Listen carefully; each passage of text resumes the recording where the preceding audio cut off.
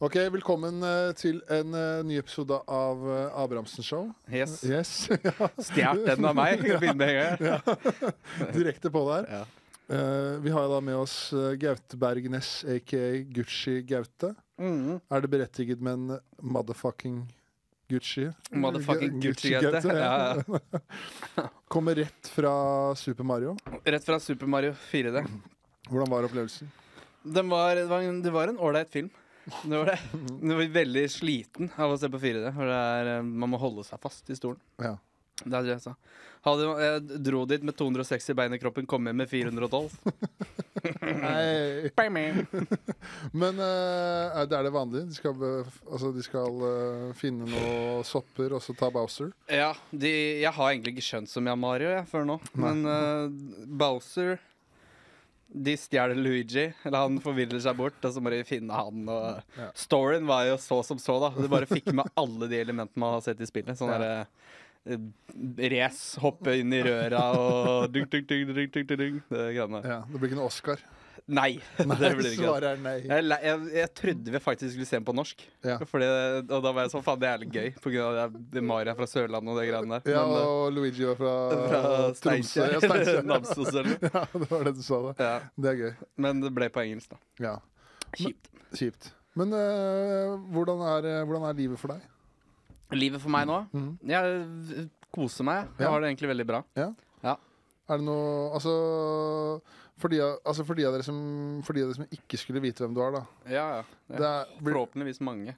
ja, det, det, begynner jo, det begynner jo å flyte godt for deg. Ja, men uh, Ja. Men jeg håper det er mange som ikke vet det òg. Ja, så du Og så kan noe- jeg få noe nytt. Og så hvis det her er toppen, så er det ikke så jævlig gunstig. Da da, går det ikke så bra, faktisk. mange. Nei, år foran deg. da. Nei, men du er, ble, er, du, er du, ble du først kjent på TikTok? Eh, ja, det vil jeg si. Ja. Altså, jeg hadde noen følgere på Insta, sånn noen tusen. Det er jo bra, det òg, på en måte. Men Ja. jeg har jobba, mye mer for de enn for å få følgere på TikTok. Men var, eh, Du starta bare med å legge ut morsomme videoer på Instagram og TikTok? Ja, dritmorsomme videoer. ja, jeg, jeg, vet ikke om jeg skal se tilbake på Nei, de og det- tenke hva, hvor gøy det er. Men, jo, eh, men du visste hvis du ja, får følgere? Altså, det var i hvert fall et forsøk på humor. prøvde jo, da. Ja. Ja. Og det har jeg gjort i, siden 2015, sikkert. da Nei, jeg vet da faen. Jeg. det Når, så lenge? nei, nei, det var kanskje litt lenge, da. Men sånn midt i studieåra mine, 2017. Ja. Da begynte jeg liksom å legge ut litt videoer på Instagram. Og det der, jeg husker den der dørsto- dørstokkterskelen Ja. der var litt uh, hard å tråkke over. Ja, bare det er vondt. Nå har Gaute på seg parykk, han, på den videoen på Instagram der. Ja, folk begynner, hvordan går det egentlig med han Dagnes? Skal ikke han bli journalist? så spør jeg. Ja, for da, er Det var journalistutdanning, i hvert fall. da ja. Ja. Har du fullført den? Jeg har fullført alt, men jeg strøk på bacheloren. Så ja, den er grei. Men du har jobba i VG eller noe? Jeg, jeg, har hatt praksis i Dagbladet. Du har pr- praksis i Ja, Dagbladet? Ja. men gjerne si at jeg jobba i VG. Ja. Bare steppe var- litt opp. Har ikke du vært gravejournalist i VG? Så du er uh, ansvarlig for overskriften 'Som går under ned 20 kilo på tre dager'? Ja, og se hva apene gjør med sine venner, holdt jeg på si. Jeg mye oppå Naturhistorisk museum hos Petter Bøckmann og spurte om uh, uh, dyre Hva skal vi si? Dyre uh, Holdt jeg på å si ferdighet. Altså, Egenskaper? ja, det de driver med, da. Nå har Jeg mista ordet helt der. Ja. Men uh, ja. Atferd? Nei, Atferd! ja, Dyreatferd. Ja. Det var ikke verre enn det, egentlig. Så, Ja. ok, så du skrev om dyr Jeg fant virale videoer, og så, og så bare sånn Se, den her er litt gøy, da. Noen som får en slange inn i huset og holder på å spise ungen. Yes, kjør det ut. Det er klikk. Det var klikkjournalister er egentlig tittelen omtrent var da, tror jeg. Okay, var det? Ja, på TV. Bare sånn Jeg skal på Dagbladet TV, ja. Og så er det bare å finne virale videoer og legge på tekst på norsk Ja. og få en eller annen kommentar fra en eller annen idiot. Er Eller sånn, ikke en idiot, da, men en, en, eh, rett og slett en kvalifisert Ja. type. for det er ofte sånn derre eh, For jeg føler på Dagbladet så er det ofte sånn derre video, bilde av video. Ja. Så står det 'Du vil ikke tro hva denne bjørnen Nei, du- gjorde med den elgen'. Og så er hva det Det har vært kult quiz, det, da. Bare gjett, da. Det skal jeg se om jeg klarer å tro akkurat hva det er. Som regel klarer man det, ja, føler ja, det er begrensa. Ja. Bjørn, liksom, en bjørn og en elg. Det er ikke sånn, Bjørn begynte å kose med den Ja, elgen. Begynte å kose. Så han spente bein på den og kødda med den. Ja. Ja. Men husker du, husker du liksom ehm, Nå som du er eh, Du er jo ganske stor på både TikTok og Instagram? Er det ikke sånn Ja, 60-70 på TikTok og 10-12 på Insta? ja, det er ganske riktig. Ja. Ja. Ah, husker du liksom første gang Ja. bare Jeg tror det. Nei, jeg skal ikke si 60-70, for det er 56 eller noe. OK, ja, greit. Eller noe. ja, sorry. Ja, men det, det er jo 10 000 følgere er mye, det, da. Ja. Men husker du første gang du bare Faen, nå går jeg viralt. Uh, Ja. Det husker jeg. Jeg hadde én video på TikTok som gikk sånn sjukt viralt. eh, Eller så sjukt viralt er det jo ikke, da, med sånn 750 000 visninger, da. ja, det er ganske Så det det, sånn, da. ja, altså, bare sånn egentlig at jeg jokka knallhardt etter en eller annen låt. Så er ikke helt Jo, det er for så vidt litt eh, gøy ennå, det, da. Ligger vel baki der. Og så hadde jeg en eh, norsk en hvor jeg var sånn derre Det var på en måte en liten parodi av han derre Faen meg han derre gærne kristne fyren. Han derre Ja, Levi Halleluja! Ja, han der. Levi, Jensen, ja. ja. ja. Sånn der, det var sånn trend. Var sånn der, One week after being uh, Christian. Mm. Two weeks. Og så bare gikk det liksom mer og mer, da. Ser kjekt ut. Uh, og så Ja. Og så hadde jeg en på engelsk som var sånn, snakka sånn nor Norlish-engelsk, da. okay, ja. Som uh, også gikk ganske viralt. Sånn Ja, altså f- eh, en, over en million visninger, i hvert fall. Oi, helvete. Så det kult. Masse amerikanere og sånn. Men ja. Kult og kult. Ja, men det, er, Ja, det, er- det er- det er jo ganske sjukt, da. Ja. En, en million mennesker har sett en video du har lagd. Ja. ja. Man kan jo tenke sånn, selvfølgelig, men så er det også ikke en million. da Det er ikke en million stykker som har sett den én gang, og så ikke sett den igjen. Nei, nei, Så det er nok mye færre sånn eh, Ja. rent uh, individmessig. La oss si 300, da. Ja, og det er faen meg mye, da. Her Det er mye. Det er Så jeg kan jo ikke reise til USA engang lenger jeg, uten å bli helt stoppa på flyplassen. Faen. That's Gucci. Shit. Men hvor er det, du, hvor er det Gucci hvor er det navn, Hvorfor ble det Gucci Gaute? Det ble det Oi. Hørte du den svelga kreftsvulst i halsen der? Sider der uh, i nebbet. Ja. Um, nei, det, det kom til uh, veldig tilfeldig at jeg la ut Jeg, jeg fant noen Prada-briller hjemme, eller noe sånt. Mm. Eh, og så la jeg ut et kult bilde da på Instagram og skrev 'Kall meg Gucci Gaute'. Og så var det et sånn øyeblikk jeg bare faen, kalle meg det. Jeg bytter navn til det. Okay. Som på en måte er litt sånn teit òg, da. Men så husker jeg det var mange som bare sa det, det navnet klinger jo jævlig bra, så Ja. det vil du bare fortsette med. Og For nå eier jeg det 80% For det er vanligvis ikke legender som i seg selv kan det. Nei, det er, det er ikke det. Du skal jo ikke gjøre det. Nei. Det er rappere og, og meg. Ja, det er litt det det var òg, da. Sånn Gucci Mane og, og Gucci Gang. Det var jo en eller annen greie med det. At, Ja. ja. Så ja. Og så bare Da ble det Ja, men det, det, det, men det klinger jo bra, da. Det gjør det. Det er et alliterasjon. Så, altså sånn uh, Det var sånn når vi, vi Mm. gjorde standup sammen for noen studenter for et par uker siden.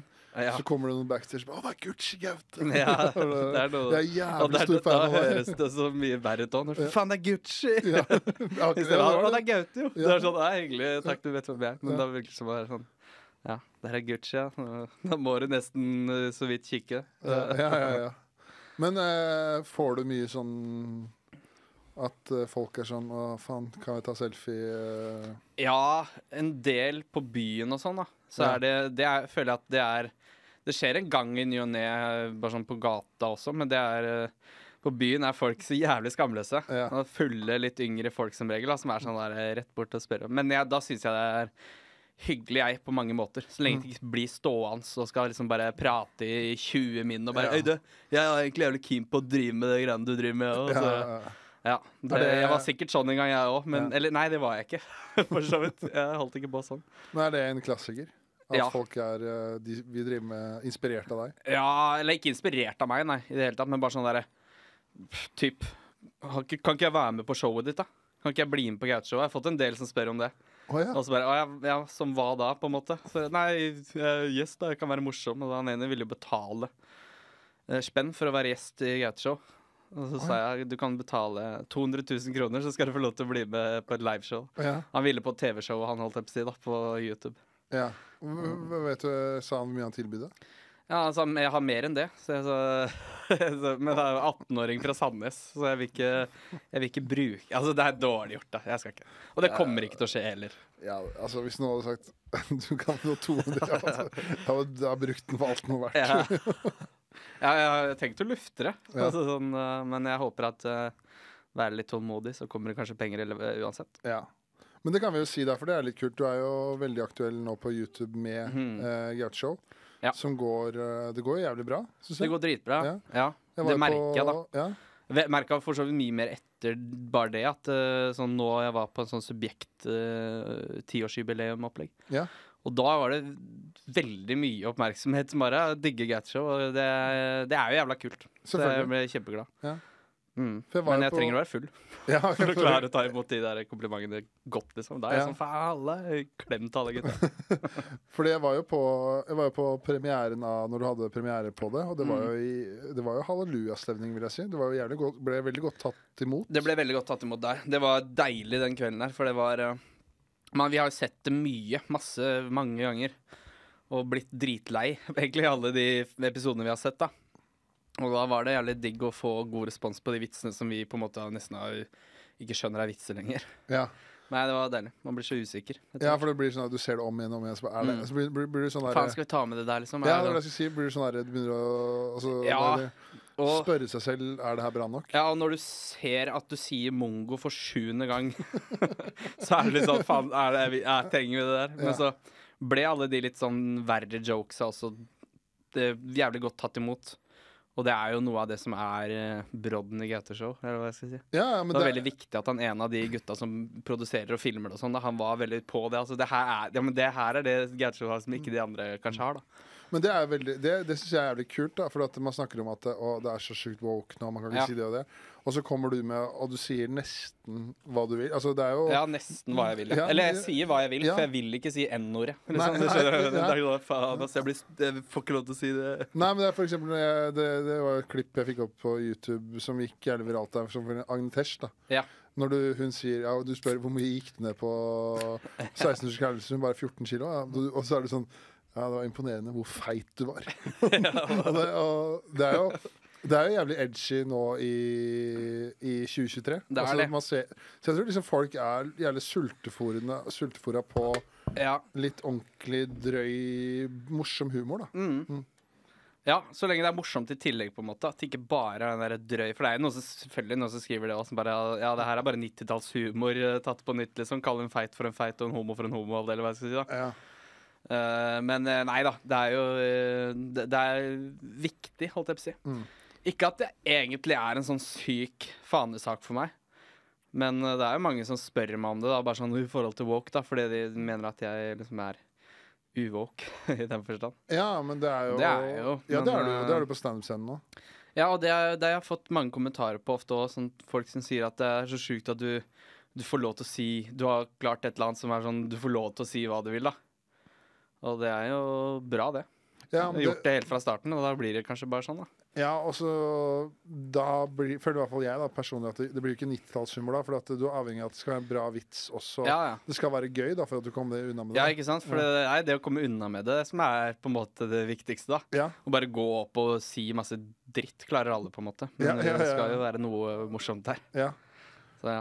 Og så har du jo eh, Hvor lenge det du holdt på med standup nå?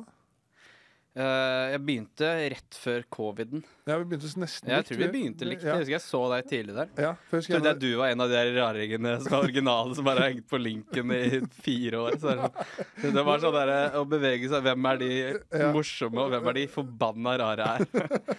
Finne ut av det i starten her. Men jeg husker jo jeg tror jeg, jeg tror jeg var der en av de første gangene du sto på linken. Så var det en av de første gangene Ja. mine også. Stemmer. Eh, så sto vi inne der i dårlig lys, dårlig lyd og dårlig forhold foran fire stykker, og atombomba gjorde det dårlig. ja, ja. Og, ja. Man må ha noen av de ass, på linken. Deilig. Ja. Der, eh, det tror jeg er lagt ned ja, For de av de som hører på, da, så er det kanskje er det den verste standup-scenen i Oslo, tror du? Eh, Høyt oppe, i hvert fall. ja, ja, det tror jeg egentlig. Ja. Jeg tror kanskje den er lagt ned nå, jeg, men uh, Ja, jeg vet ikke. Han starta nytt, han som drev det, eller hva sier jeg. Ja. Men hadde du noe sånn derre eh, hadde, du- hadde du gått lenge og tenkt «Ah, jeg har lyst til å prøve standup? Eller? Nei, egentlig ikke. Men uh, før jeg gjorde standup, ja, så gjorde jeg jo masse morsomme videoer og ville gjerne jobbe i TV og humor-typ, da. Og fetteren min drev med standup før. Og Ja. var sånn Du må begynne, du må prøve og sånn. Så det var han som fikk meg til å gjøre det første gangen, da. Og da fikk jeg litt sånn mersmak, da. Det var én fyr som sa etterpå at du burde fortsette. Han bare Yes. det var, faen, jeg, trenger, ikke mer enn Nei, det. jeg trenger mer enn det. Nei. Så nei, da fortsatte jeg. Og så var det det at jeg jeg gjorde det en gang først, så blei jeg med og- litt rundt og se, og jeg blei tidlig kjent med Magan. Ja. Han sto i litt sånn ordentlig kule steder og var med Jørnis rundt, så jeg møtte Jørnis litt sånn tidlig, da. Og sånn sett, så da fikk jeg sett gjerne mye flinke, og mange som var på relativt kule scener som ikke var så flinke, i mine Ja, øyne. da, Som ja. var sånn, faen, Fikk jeg veldig lyst til å gjøre det sjøl, da. Bare, jeg har jo bedre vitser enn det der. Det er håp. Rett og slett. Ja, det er virkelig håp, ja, ja, ja, ja. Jeg sier ikke at Standup Norge er dårlig, og det har sikkert blitt mye bedre bare på de åra siden jeg starta òg, liksom. Ja. Føler jeg, da. Jeg føler nå at det er uh, Ikke Det på blir- grunn av meg, Nei, men nei. bare sånn generelt. Men jeg føler jo kanskje det blir jo kanskje veldig subjektivt. Altså man er i standup. Men Jeg føler Ja. at det er ganske at det er høyt nivå på standup i Norge. Ja, på de beste Ja, på, På de, det, Jeg fikk sånn Star Wars-stemme. Nei, men på de aller På beste. de beste stedene, liksom. Ja. Ja. Er du gæren? Absolutt. Sånn uh, bare her på Njø, da, i underetasjen her. Det er jo ukentlig veldig mye bra standup bare Ja. her. Så ja, det er det. Det er det. Så, men det er også noe eh, som er sånn derre Det er en jævlig hyggelig bransje. Ja, ja, Og kanskje litt for hyggelig noen ganger, hvis man skal tenke på at man, det er kvalitet er viktig, da. Mm. Så er det jo sånn at det, ofte er det den som spør først, som faktisk får noen minutter her og sånn. Så jeg, jeg har jo hatt noen kvelder hvor jeg har lyst til å booke og har sett for meg noen, og så er det sju stykker som spør meg, så klarer ikke jeg å si nei til alle de sju. Nei, Jeg sier kanskje ja til tre, da. Ja. Så jeg tar litt plasser fra tre andre jeg tenker kunne vært bedre. Ja, ja, ja. Men det er jo selvfølgelig på meg da og alle andre, at man må klare å si nei. ja, ja, ja. For du har jo, du har jo GT-show live også. En gang i måneden på nye? Er det? Ja, det er ikke noe fast dato på det. Men okay. bare setter liksom opp uh, Vi tar den datoen, den datoen, og så Ja. Så det, men det er jeg keen på å ha litt mer da, framover. Ja. Nå skal jeg ha det på Parkteatret, og da hadde vi sånn Kjøp billetter? Ja, kjøp billetter. 27. mai.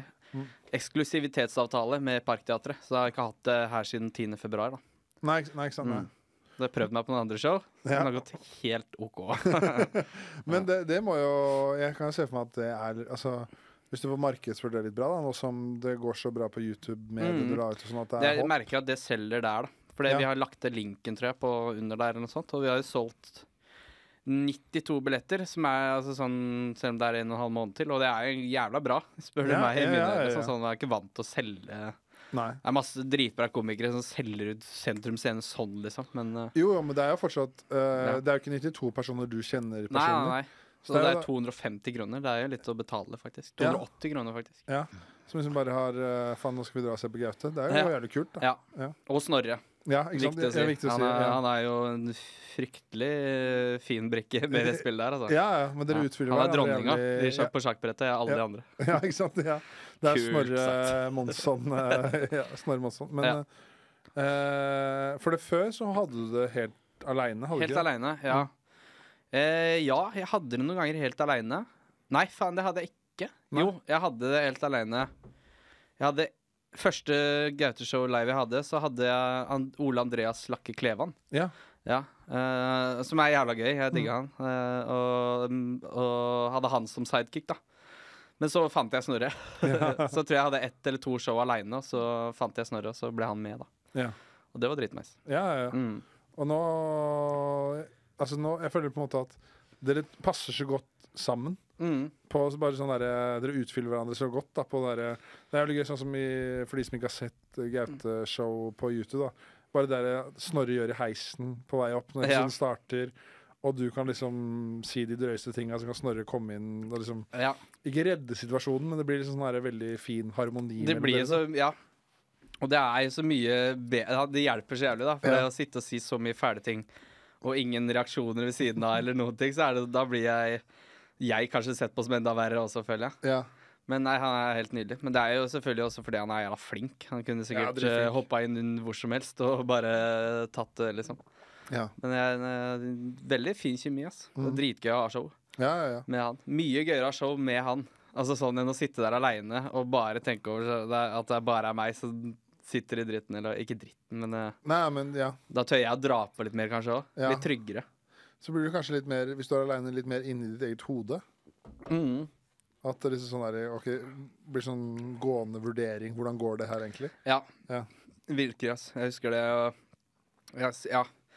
Jeg gidder jeg, jeg vurderer det så jævlig uansett. Jeg, jeg må slutte å se på det. Eller altså slutte Jeg pleier å ikke se så mye, da.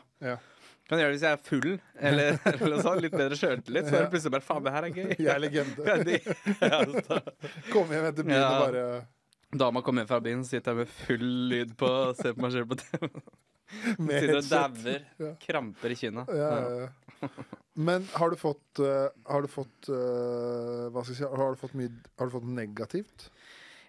Har, jeg syns Jeg syns jeg får lite negativ respons. Og, og jeg også får Jeg vet at det er folk som ikke liker meg der ute. Ja. Men jeg føler jeg, Det er noen som sier ifra. Men jeg, jeg, jeg uh, tar Jeg, jeg, øh, jeg, burde jo drite i det. For det er så mye god respons, og så kommer det noe dritt. Og det er jo som regel tapere som sitter der og bare skal kommentere. Jeg, jeg syns jo det er ålreit med kritikk og sånn. da Alle skal kunne kritiseres, og det er greit at noen skri eh, har meninger. Men det å liksom aktivt gå inn på TikTok eller Insta og sånn, og bare kommentere 'Det her syns jeg er dritt'. Ja, sånn, ja, ja. Faen, får du ut av det, egentlig? Det er jævlig lite konstruktivt. Jeg synes det er jævla te- ja, ja, det er sånn, Kom med noe konstruktivt, ja. Men uh. Men det, eh, nå får jo du sikkert eh, ganger mer hat enn Men jeg bare merker sånn de videoene jeg har lagt på TikTok, Mm. som liksom har blitt sett av jeg ser at du også får det. Jeg får også det. Ja, ja, ja. Da har jeg så lyst til å svare på dine vegne. Bare sånn, Fy faen, du er en jævla klovn, liksom. Du sitter der. For det er liksom noen videoer som har sett over 100 000. Og da er det jo liksom Det er liksom si det er 70 kommentarer, da. Ja. Så er det da 60 positive. Ja. Og så er det liksom 10, 10 Ja, det er det. negative. Uh, men en ting som hjelper jævlig for meg, uh, som gjør at jeg ikke bryr meg om det, er jeg klarer ikke å ta det seriøst da når Uh, Liverpool understrek 89 har kommentert at Nei. du er, du er ræva.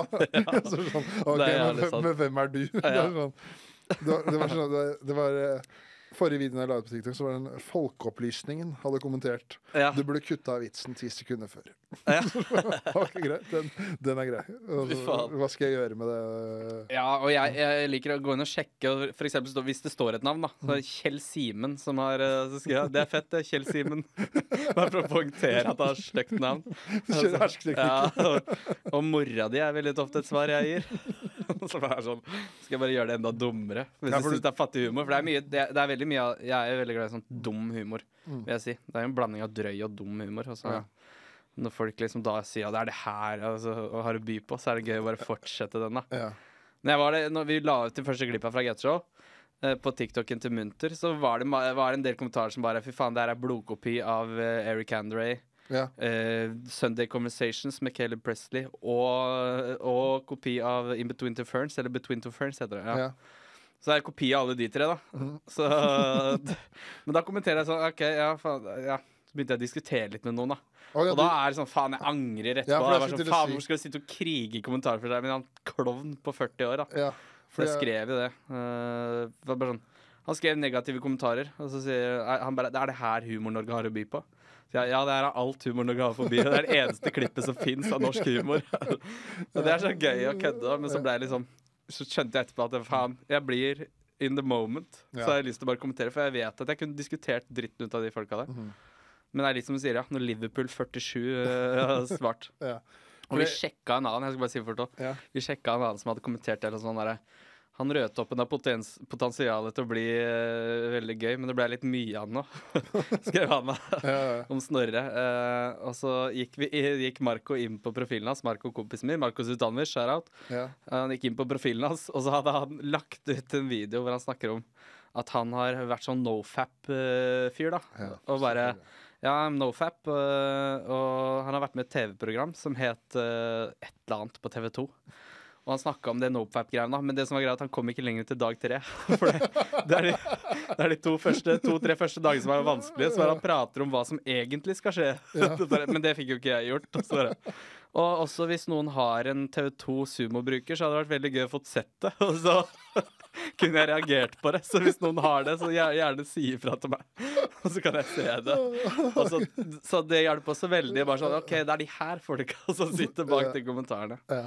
Det er folk som vil lage det sjøl. Det sa også han Martin Jøndal, VGTV-sjefen. Jeg prata Ja. litt med han om det. Bare sånn, Ja, ja. for det får jo noe hate. Og så bare Nei, herregud, det er folk som har lyst til å gjøre greiene her sjøl, som bare skal klage. Eller, eller vise at de er smarte. da At bare, Jeg har sett Eric Andre, ikke tro at dere klarer å lure meg. Så bare, ja Det heter Gaute-show, liksom. Det er Ja. meg ligger i ordet.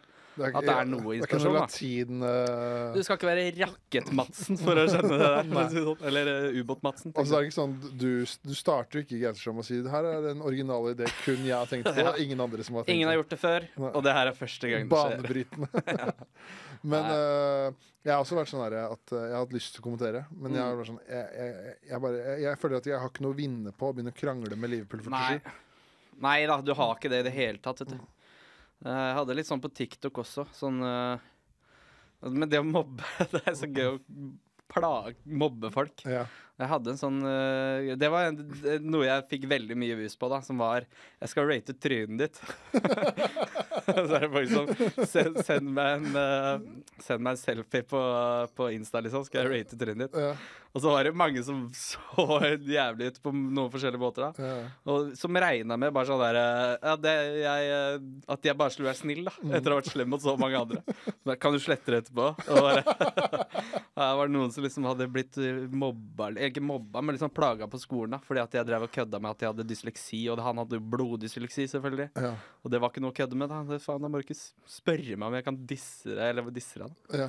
Det, er, det er gøy å si, for jeg var jo i i Nord-Norge for eh, ja, det er to uker siden. nå Og så skulle jeg gjøre et show i, i, i Glomfjord på kvelden. Men Ja. før det så var det U18-show.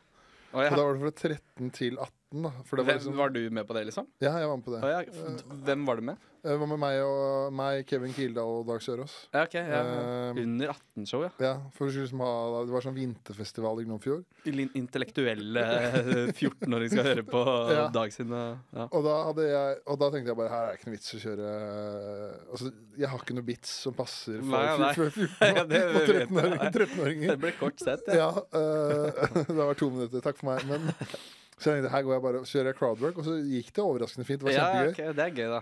Eh, men så var det en eller annen fyr en eller annen, Det var en eller annen 13- eller 14-åring da, som hadde Jeg husker ikke hva han sa. Jo, han sa det at eh, Jeg spurte hva gjør du på fritida, Mm. og så var det et eller annet sånn der Han var glad i eh, eh, Red Bull og, og YouTube-videoer. Og så tenker ikke jeg meg om, og så slenger jeg ut Ja, der har vi en fremtidig skoleskyter. ja, ikke Og så sant? alle, alle, alle andre ler. Ikke sant? Ja. Han ler jo, han òg. Men så snakka jeg med Kevin nå i stad. Og han bare Nei, han Christian, han har jo blitt Nå kaller de bare han for skoleskytteren. Fy faen, det er det. Det er farlig, vet du. ja. Så det har liksom blitt kallenavnet hans på grunn av meg. Ja, faen meg. Ja, så det var jo Ja, nei.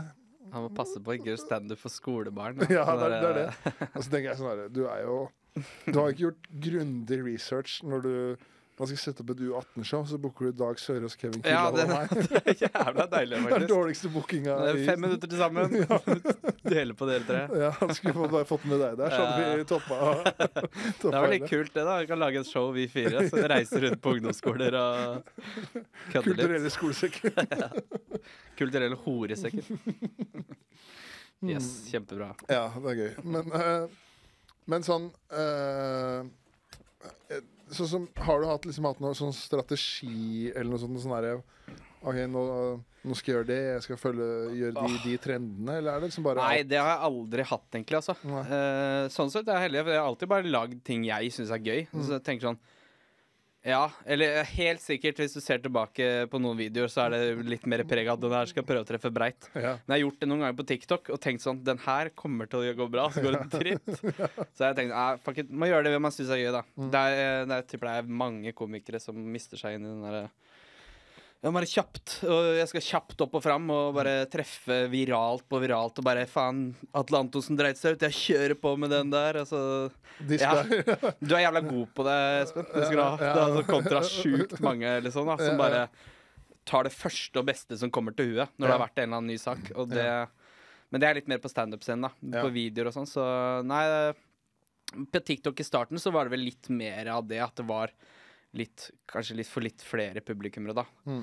Og så uh, har jeg jo funnet en karakter der etter hvert, som jeg har gjort mer og mer av. på en måte For jeg må si, jeg, det er sjelden jeg koser meg så mye som eh, For jeg kjenner deg godt. Og så når jeg liksom ser deg, får jeg opp deg i feeden min på TikTok, da, så er det liksom du som står og forteller at eh, Jeg husker ikke hva det er sånn, Jeg fikk bare Var det der 20 000 til jul eller noe sånt? Uh, 100 000 til jul. Ja. Eller 117, faktisk, men jeg runda ned. Så Ja. 100 000 til jul. og så ser du folk kommentere. Faen. Ja, den er deilig. Den er, fått den er splitta. Ja, den er splitta. For det er enten at det er, folk skjønner at du kødder, og det er sjukt gøy, Ja. eller at du er et forbanna rasshøl. Ja, forbanna rasshøl. Og så er det faktisk en tregruppe der som syns det, er- det her, de tror det er ekte, og det syns jeg er helt greit. Ja. Sånn er ikke alle som har penger. De må få lov til å ha penger. da. Oslo vest. ja. For da, da var det et par videoer du, eller par kommentarer du svarte på. Var det, Ja, ja. faktisk, ja. Hvor det var sånn derre Syns du 117 000 er mye, eller hva Ja. du sa? Der? Ja, ja, men jeg visste faktisk da på ekte at hun, Jeg visste ikke at 100 000 er mye å få til jul, liksom. Jeg har fått mer før, mange ganger. Så, sånn. så det her var ikke noe for meg. Det var ikke en sånn skrytevideo, det var egentlig bare informasjon. Ja, ja, ja, ja. ja, og da er det mange idioter da som jeg syns jeg er ufyselig. Og det har jeg liksom tenkt på noen ganger. Altså, hvis jeg kanskje ser noen der på bussen en gang, så ser jeg meg og bare Fy faen, han der, en ekle jævelen der. Jeg skal få lov til å tenke det. Men det, er, det, er, det er faktisk akkurat det er litt gøy. Mm. Å få sånn haters av, på feil premiss. ja. Det er dritgøy. Mm. Som bare tror jeg er en idiot. Men hvis du hater det jeg driver med på ekte, så er det sånn Ja, ja. Mm. Jeg skulle gjerne møtt deg. Jeg, jeg, sånn, jeg tenker jeg skulle klart å møtt mange og, og sånn. Jeg, for jeg er jo ikke dritfæl person på Nei, fritida. Ja. Håper jeg. Ja. Ja. Det er sikkert mange som tror det. ja, men uh, Jeg vet ikke. Jeg det, med tanke på at folk kommer bort og sånn, så kan jeg liksom ikke virke så skummel heller. Nei. ikke at det er Og så tenker jeg det er bra Altså så lenge Det er kanskje all- Det er sånn all PR er god PR, da, men det er jo bra Ja. så lenge folk har er Jeg føler liksom, i hvert fall den bransjen som du er i, da, at Mm. det er eh, Så lenge folk har en mening om deg, så er det Mm. bra. Ja, det er sant. Og jeg, jeg, det er sånne ting jeg ser for meg. For jeg, hvis Alle har haters, og det, man trenger det sikkert. Og det er det jeg syns er en fin tanke, er å se for meg en 17 år gammel gutt diskutere med en annen 17 år gammel gutt Ja. uh, om meg. da Ja, At han ja, ene liker meg, og den andre hater meg. Altså, Ja. det, er sånn, det er jo bare helt konge, det. Mm. Og så er det litt det at hvis noen liker meg, så liker de jo min humor, da. Og ikke bare sånn Ja, at jeg prøver på noe annet, og så liker de den humoren. Men de liker faktisk akkurat det jeg syns er gøy. da Ja. Det er hyggelig. Og så føler jeg også at eh, Jeg vet ikke hvordan du tenker om det, men jeg har det er, brukt ganske mye tid på å tenke på sånn herre At jeg har ingen eh, nære venner som hadde gått inn og kommentert 'du er stygg', 'du er ræva'. Ja. Altså, da er du enten 16 eller under, eller så er du Ja. da ikke en legende av en person. Nei. Altså, jeg, har- jeg har sett ting på Facebook jeg tenker ja, det her er hjernedødt. Ja, ja, herregud, så Men, mye eh, dritt. Jeg ja. bare sender det til kompisen min isteden. Ja, ikke sant? Ikke sant? Jeg, jeg Ikke kommenterer jo ikke er det, Nei. Det er uhyggelig. Og da, hvis du, det er derfor jeg mener at da er en negativ person, da. Mm. Og sånn, nei, alle jeg, ting jeg syns er dårlig, skal jeg gi den uh, kritikken min ut, uh, liksom. Ja. For det, Men, od- oddsen på at, eh, at et kommentarfelt på VG om en sak om innvandring blir stengt i løpet av Mm. to minutter, det er jo 1,2. Ja, og sånn sett er det mye mer. Altså det, er, det, er mye høy, det ser jo mye høyere an, Ser ut som det er en stor andel av negative kommentarer. da Som eksempel altså 10 av 60 Nei, av 70 da på din. Mm. Som er ikke så mye der. Men som egentlig er, det er mye mer enn det egentlig er også. For de fleste som liker det, trykker jo like og sender det videre uten å kommentere 'dette er fett'. ja, ja, ja. Og det, så jeg, jeg tipper det er mange flere av de òg, da. ja. Uh, og så er det sikkert noen som hater det, som bare går videre òg. Som Mm. klarer å bare tenke 'det her var ikke for meg'. Nei. Den rareste, jeg tror den rareste kommentaren jeg fikk, det var faktisk på en video jeg la ut med 18 Antonsen-saken. Mhm. Hvor det var en som kommenterte sånn det er, helt, det er skammelig å gjøre narr av en kollega i bransjen. Jeg skal, jeg skal sørge for at han får sett det, Ja, og så skal han ta deg. Hvem Ok, det er Du gikk ikke inn og googla han fyren, eller? Nei, men det var jo typ da Liverpool 47, da. Så det var sånn Ja, ja, det er vel eh, Skammelig. Ja. Ja. Ingen andre som har gjort det heller. Nei. Men det Hva var Atle Antonsen-vitsen din, egentlig? Nei, altså det, det var bare at eh, Det var egentlig ikke om eh, Atle, egentlig. Det var mer om kommentarfeltene. Ja. Sånn at uh, Det var så sjukt mange som bare var sånn Nei, nei men det er, det er sånn som skjer når man drikker det. Det er helt innafor. Ja, ja, jeg sånn, sånn som skjer når man drikker. Altså, ja, så var det et eller annet sånn derre Jeg har aldri liksom Jeg har aldri tatt en øl og bare faen. Nei. Skulle sagt N-ord i helgen. Altså. Nei, men faen, det verste er at det er eh, Ja, men det er sånn som skjer for enkelte. ja. Og det er ikke alltid de har vonde meninger. Jeg var på et uh, nachspiel for ikke så lenge siden. Jeg bare plutselig hører en som bare slenger den N-ordet-glosa ut der. Og de er bare hvite gutter som sitter der. Så bare, Hva sa du, sa du? Så jeg liksom og så, bare, Nei, ingenting. Og så bare prøvde liksom å sjekke om det rommet var greit for å bare sitte og slenge rundt seg. Ja. Det så ikke jeg poenget med, men Nei, nei, Nei, det er ikke sånn at det er digg å si det. Fordi det ikke Det er, jeg har en kamerat som det før, da. Han har skjerpa seg. Mm. Det skjedde, skjedde, det greiene. At han ble full. Blei smårasist. Idiot. liksom Bare sånn derre Satt seg i en taxi, og fyren prata litt dårlig Litt dårlig norsk. Begynte å prate engelsk. Så bare OK, let's just do it in English then. Uh, I'm, og så bare Fy faen. Stopp bilen, sa han hadde kameraet. Så bare gikk han. Det her orker ikke jeg å sitte på. Det er dritpakka. ja, ja, Så det er skjer, fucka, Ja. Så det er fra Skien. ja, jeg er jo enda verre. Ja, Årnes, sant. eh, Årnes der. For der er det litt sånn derre sånn der, Nei, det har alltid sagt det, da. Fortsett å si det. Ja, faen, men ikke, ikke når du er 26 eller Nei, ja. 30 år, liksom. Skal du bare Nei, jeg bare fortsetter i 70 år til, jeg, hvis du er heldig, liksom. Det er vel uh, jeg lurer har du dårlige vaner av vonde venner, holdt jeg på å si. Virkelig, da. Det er vel Trond, Trond-Viggo Torgersen. Ja. Han nekter å ikke Han bruke det. For det har han brukt i alle år. Jeg syns det er sjukt håplig Jeg skulle liksom, ja. Faen, hvilke argumenter er det for det? Jeg har alltid sagt det. Faen, Det er helt uh, idiotisk. For det koster jo ikke meg en kalori å ikke si det. Nei, det er veldig lett å ikke si det. Ja. Og hvis du plumper ut, så får du jo bare si Ja, ja sorry. Ja, holdt jeg på å si. Det har aldri ødelagt en setning. Sånn, faen, Nei, faen, jeg får ikke brukt det. Ja, ja, da får jeg Nei, si noe samme, annet. ja, fuck it. Ja. Så det er Jævla styr der. Ja. Da er det sjelden noe godt som skal uh, sies. jeg. Ja, ja, ja. Det- Men uh, det, er, det blir kanskje sånn ekstra sånn som man er fra langt utafor Oslo, eller Ja. jeg vet ikke hvordan det var i Skien. Ja, men, og det kan Det kan hende, ass. Men jeg tror, jeg tror liksom ikke det er helt fritt for det borte på Oslo vest der heller. Så Nei, Gutter som ja. syns det er kult å si. Ja. Rett og slett at det har blitt sånn fordi det ikke er lov. Mm. Så er det nesten litt kult å si for noen, da, som er anti-woke. Som egentlig er litt sånn Anti-woke. Jeg er anti-woke på noen områder sjøl, men jeg, jeg, er jo, jeg er jo en woke-person, jeg, da. Mm. Jeg er opptatt av at folk ikke skal gi faen i minoriteter, da. Som det virker som er sånn at de går hånd i, hånd i hanske, holdt jeg på. Hånd i hånd. Ja. Det å være ignorant og være Ja, det er anti-woke. Ja. Det er for, ja, forskjell der, ja. Ja, ja, ja. Men uh, jeg føler at det er ikke alle som ser den, da. Egentlig. Nei, Det nei, virker ikke sånn. Nei. Og det er gjerne ja, unge høyresida. Liksom. Ja, føler du det? Jeg føler det. Ja. Etter, I hvert fall etter litt sånn empirisk forskning, har møtt litt folk og sånn. Så bare, ok, ja. Jeg vet at det er antiwalk, og det er et viktig tema litt for meg òg, men uh, trenger ikke å si n-ordet for det, liksom. Men mener du da Altså snakker vi uh, Sian Høyre, eller tenker du da vanlig Nei, mer politiker, politiker eh. Høyre, Frp-folk, da. Ja. Ja. Som liksom Ja. Nei, det, er, det er fra et veldig spesifikt lag jeg var i, holdt jeg på å si. Hvor det bare jeg skjønte at å, ja, det er FPU-folk her og sånn. Og Ja. da var det sånn Ja, det var et mye større del av samtalen da. Litt sånn der, Blant annet han som bare plutselig sa n-ordet jævla høyt og fint der. ja. Ja. Hva gjør du faen hvis det står en mørk person bak deg, liksom, da? Mm. Så skal du skal forsvare det til han, da. ja. Selv om du kan forsvare det til meg så mye du vil. En hvit eh, idiot fra Skien, liksom. Men uh, si det til han fyren som uh, kommer fra de- Nei, Nei. faen. Jeg blir ikke forbanna, liksom. Men uh, Jeg skal ikke banke det. Men jeg bare, det har vært jævlig gøy å se at du får fått en lusing Ja. av en med minoritetsbakgrunn. som jeg sier. Som du som vi sier. Ja. Jeg sier ikke det M-ordet. M-ordet.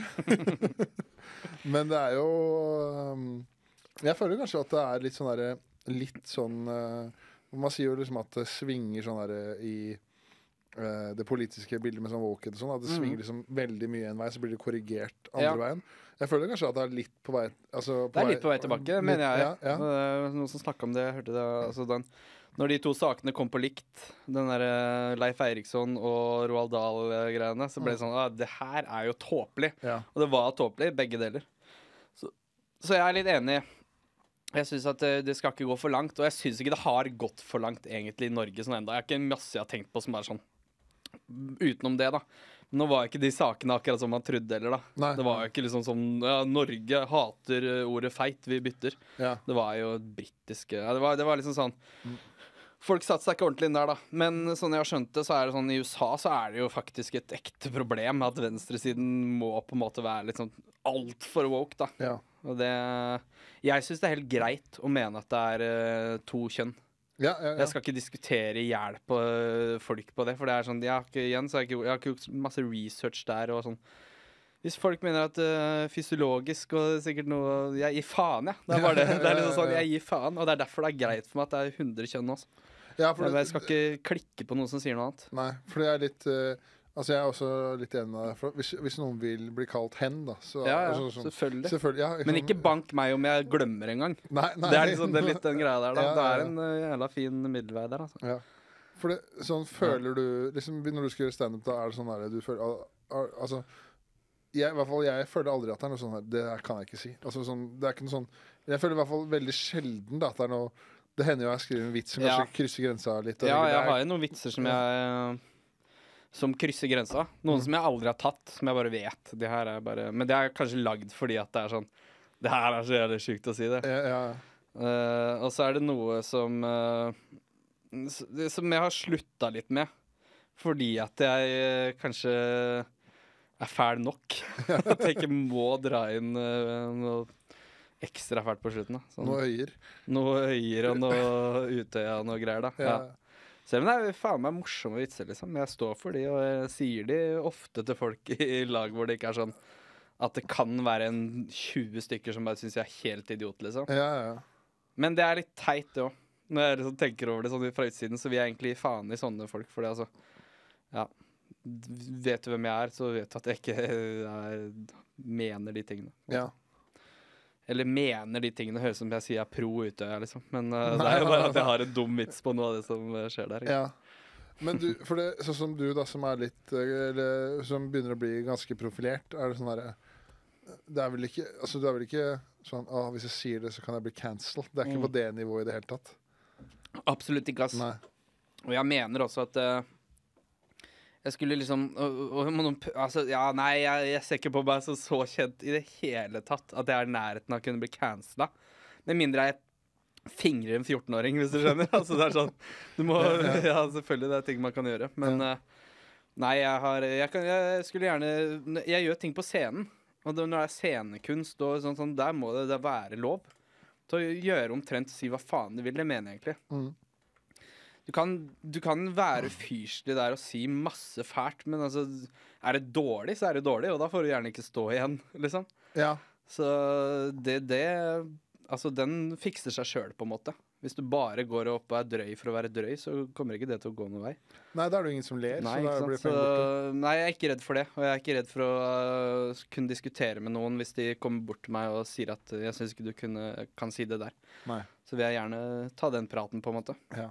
Og så føler jeg Fordi eh, det eneste jeg syns kan være kjedelig noen ganger, Mm. er hvis man prøver en eh, helt ny vits. Mm. Sånn så eh, er det ikke alle som skjønner det at man i hvert fall sånn type humor som jeg syns er gøy. da Mm. Syns jeg det er gøy å liksom pushe grenser litt. I hvert fall nærme seg grensa. Ja, ja, ja. Og da, noen ganger da, så går man jo over når man prøver en ny vits. Og så, så, så skjønner man ok, det her er ikke Da blir det sånn, det er ikke Folk syns ikke det her er gøy.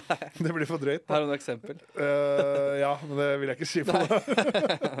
for det ja. Og det er litt samme med, med, med podkast og video sånn. Altså det som blir det som og, og, og samme med scene, scenekunst for meg. Skal ikke late som.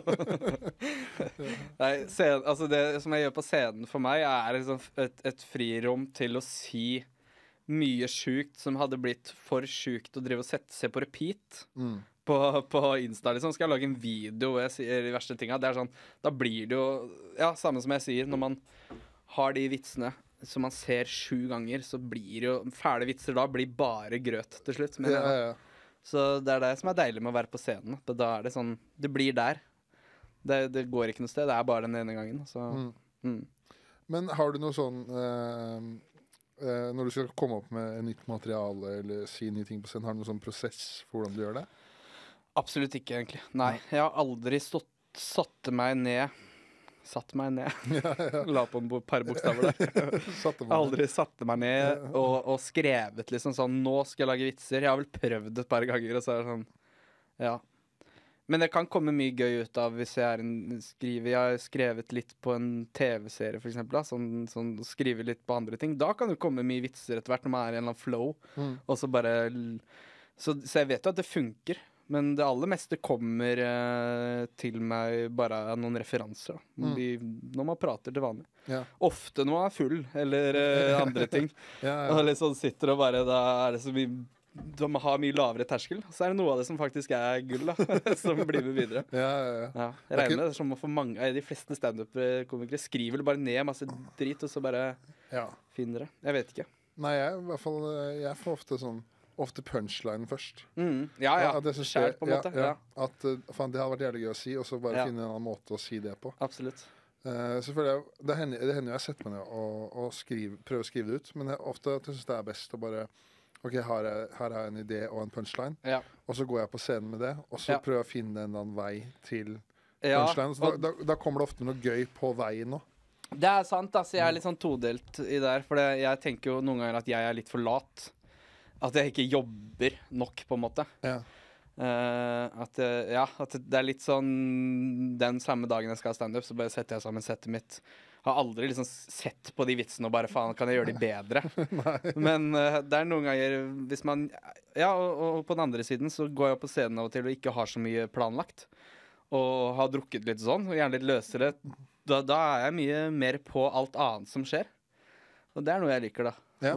Mer impro, da, egentlig. Være, være mer til stede på scenen enn å Å, faen, jeg må ta ordet i Om jeg husker alle de der 20 vitsene perfekt, liksom. Det Ja, driter jeg litt i, jeg. Mm. Det der, nei, faen, jeg, for jeg har hørt folk som bare sånn Nei, jeg tok, jeg tok jævlig lang pause mellom den ene. Og så bare Faen, er, herregud, liksom. Ja. Og det er litt forskjellen på en kul tegning og en fin tegning. Sånn der, Ja, fine, sånn, ja. altså Detaljene er vel kanskje ikke så viktig hvis det er eh, Så lenge det er bra. Ja, Ja, så, ja, ja, ja. Men du er, jeg føler jo at du er uh, en, uh, At du er flink til å være konferansier. da, altså Snakke med publikum og komme på Ja, morsomme ting. Det liker jeg. Ja. Mm.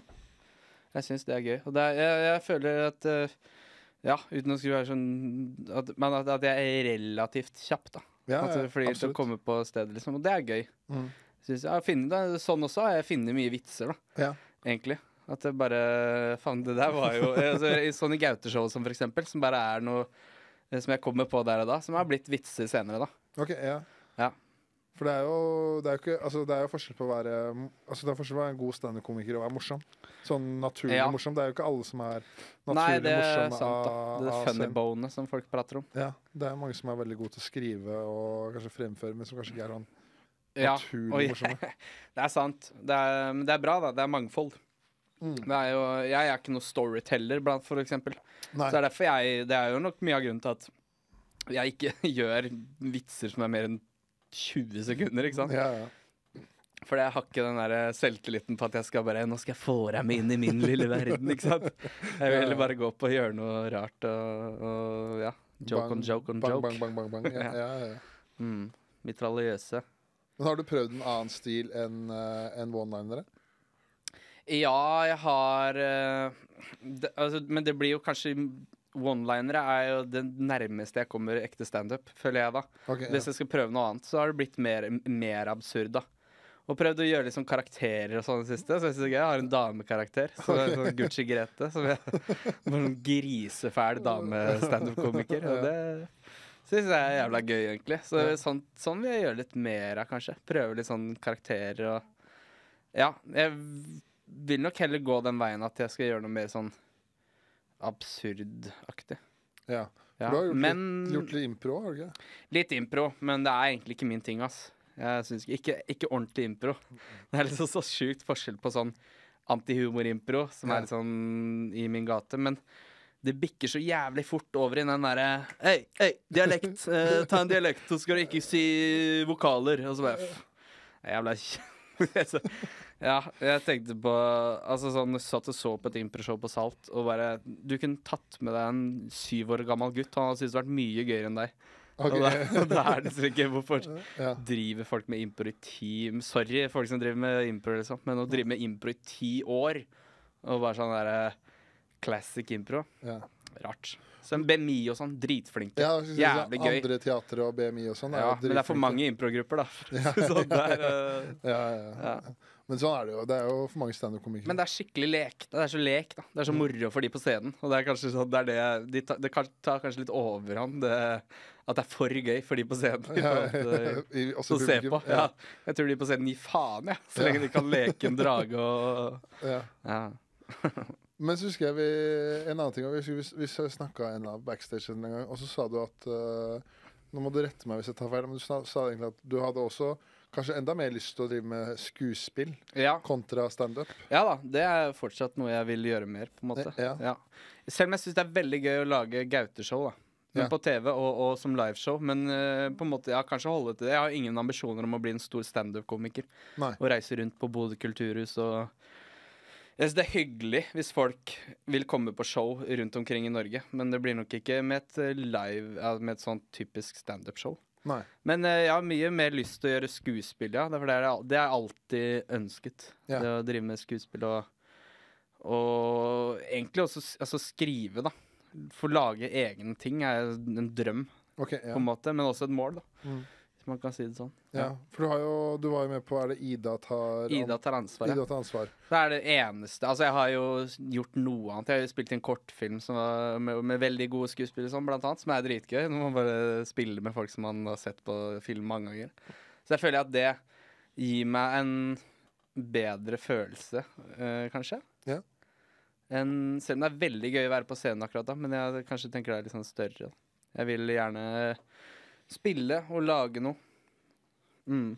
For det, når jeg har snakka med noen andre i, i podkasten, Mm. så har det vært sånn at det er eh, Blant annet når jeg snakka med han Tommy Gulliksen, da, som lager sånn dokumentarer, Mm. så snakka han om at det er så jævlig frustrerende når man lager TV, da.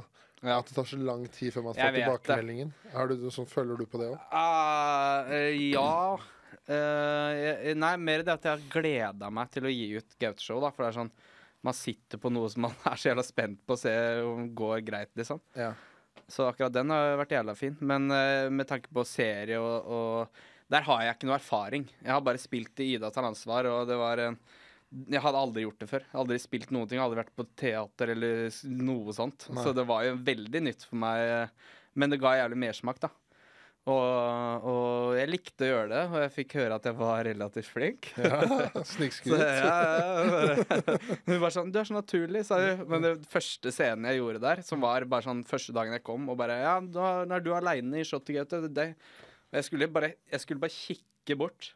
I, i, mellom en dør, liksom. Og fy faen, jeg kjente hjertepumpa Ja, gikk og ja. var vondt i magen. Og bare Oi, shit, det her er jo Kan jeg drive med det her, da? Mm. Og jeg var sånn, da var jeg lenge redd for at jeg faen meg nesten ble klippa ut. ikke sant? For okay. så jævlig lav sjøltillit på det Ja. området. Uh, ja, jeg har lav sjøltillit på akkurat det der, men jeg vil eh, Men jeg, jeg, jeg, jeg tror at jeg er flink, men jeg vet at jeg har jævlig mye å lære. Det er sånn der, Nei, det er så stort fag, det Ja. skuespillerfaget, å skrive. Og jeg vil gjerne directe. Altså sånn gjøre masse innen den bransjen her, da. Ja, ja. Og jeg mener det er et jævlig behov for det også. Det er, det er ikke nok bra serier, på en måte. Det er ikke sånn at Nei, da, vi trenger ikke en god serie til. Nei, nei, nei. og folk har lave forventninger til hva som kommer på TV, i hvert fall norsk TV. Ja. Så jeg tror det er muligheter for å kunne lage noe som er kult, da. Men det, det, det høres ut som det er en sunn tilnærming til det. da At liksom, jeg føler jeg kan mestre det her, men jeg har jævlig mye å lære. Ja, Altså, det, det er, ja, ja. eh, For da, blir, da er det jo muligheter for at det kan bli veldig bra. Ja. I kontra at du møter opp på sess første dag og bare Faen, jeg er ferdig utlært. Ja, ja, det er sånn Ja, det, er det, det liker jeg ikke. Folk som er sånn, liksom. Det er sikkert mange som er sånn. Man må ha god sjøltillit i bånn. Og det er ikke, jeg, jeg tviler liksom ikke på meg sjøl, men det er jo bare jeg som jeg må, Man må få det fram da, på en eller annen måte. Og det er ikke bare Alle kan ikke se hva du har inni ho hodet, hodet ditt, liksom. Nei. Så, men eh, det er en jævlig ja, treig bransje det der òg, liksom. Så bare det å få et eller annet laga som du har vært med på å visualisere selv, da, er- det er, jeg syns det virker dritkult. Mm. Bare sånn, det her er mitt univers, og så klare å få det på film. Ja. For jeg har jo alltid vært superglad i film og popkultur, holdt jeg på å si. Serier. Men, men har, du, har du vært gjennom noen sånne prosesser? At du har pitcha ditt, noe du Ja. har skrevet? Ja. Ja, ja, jeg har det. Altså, jeg har veldig nylig, da.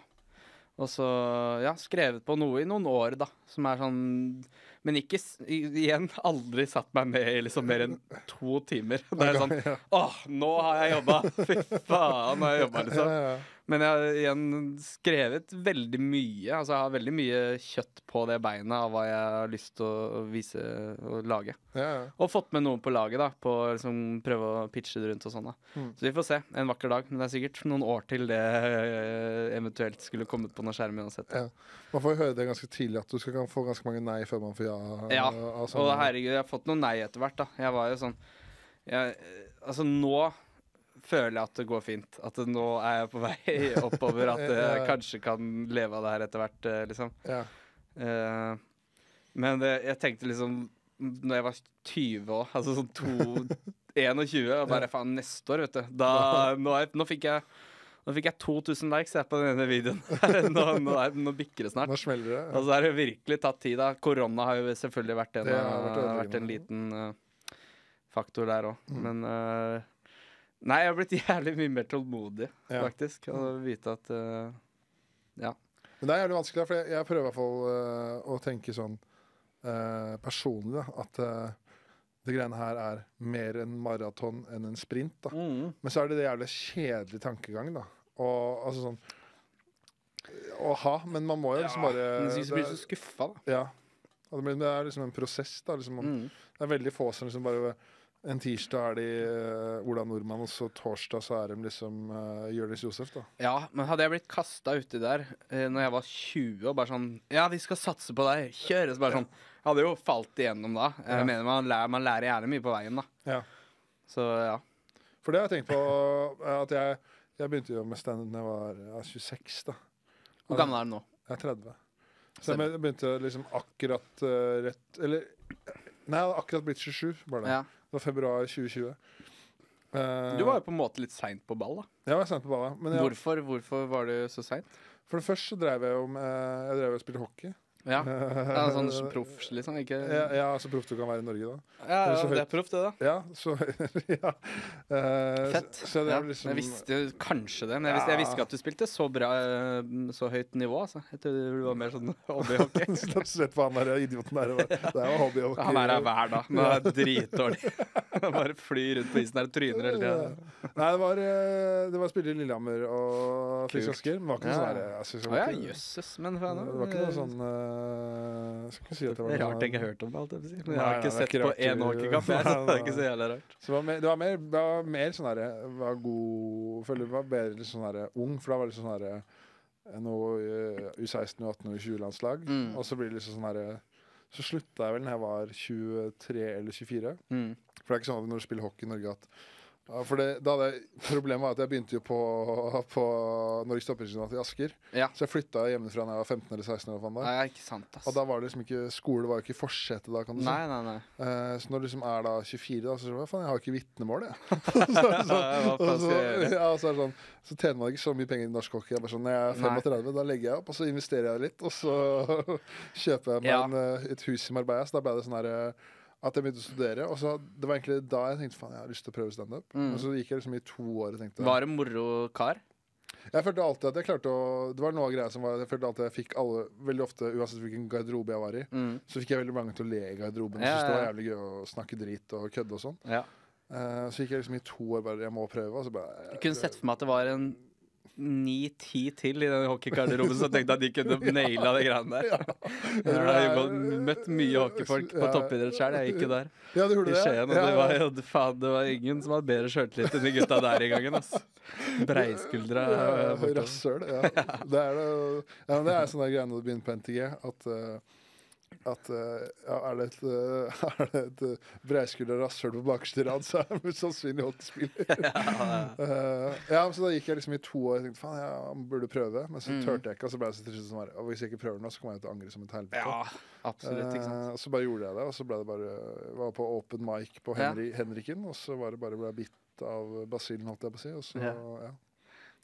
Fra første stund. Ja, det var egentlig, jeg skjønte med, egentlig med en gang jeg var ferdig at det her skal jeg gjøre igjen. Ja. Ja.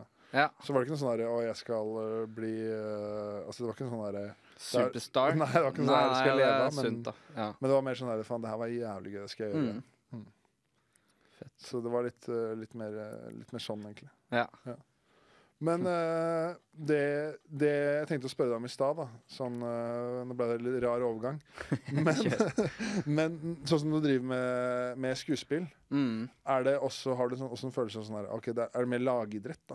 Sånn at hvis du fucker opp, så fucker du opp for alle andre? Kontra på scenen? Eh, ja, det er kanskje sant, ja. Ja. At det, ja, veldig mye mer press på det at nå må i hvert fall jeg levere i den scenen her, da. ja. Men så er det det at jeg kjente på den uh, at, at jeg ble veldig trygg fort. Når jeg ble godt kjent med hun som lagde det, altså directoren som står bak kamera, alle filmcrewet, de jeg spiller med. Ja.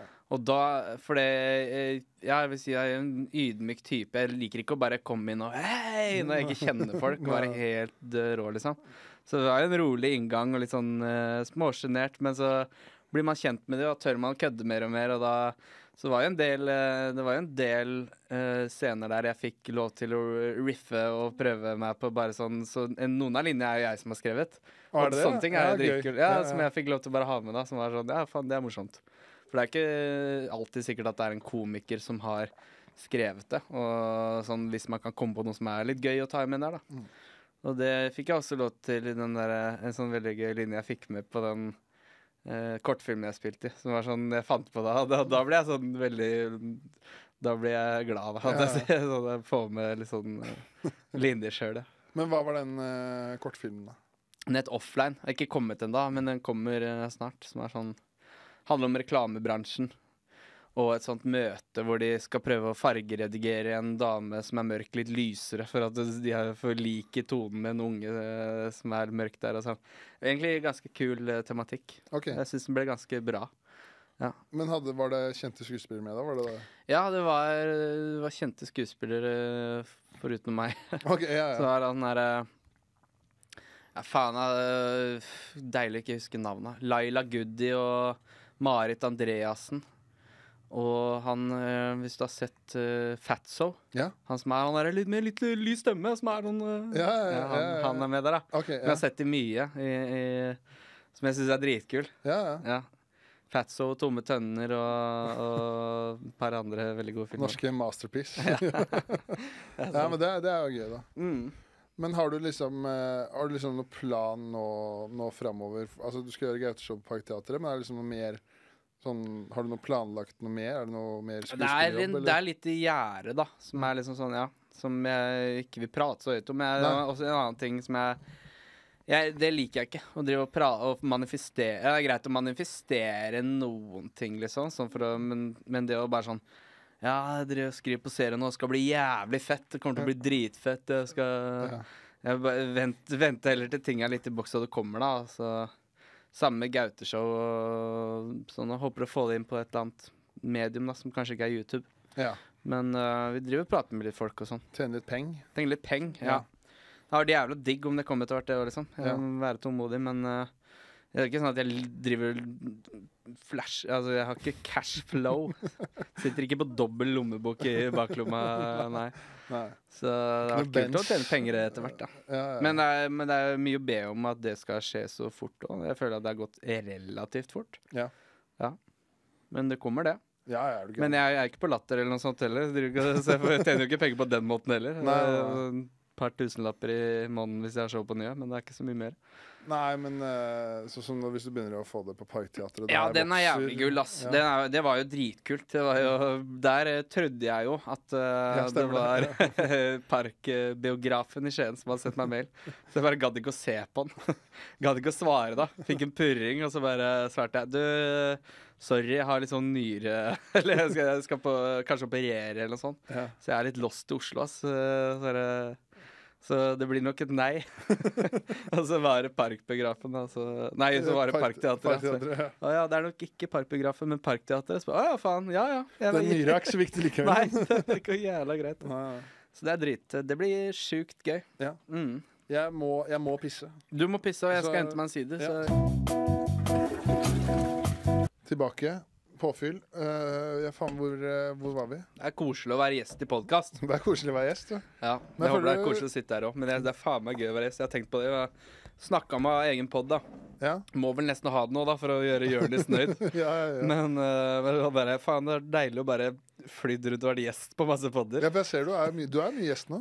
Ja, nå har jeg fått flere forespørsler liksom siste måneden. da. Ja, Og nei, ja, det, det syns jeg er heller koselig. ja, ja. ja. Jeg liker å prate med folk. Og når man, Jeg nei, Jeg vet ikke, jo.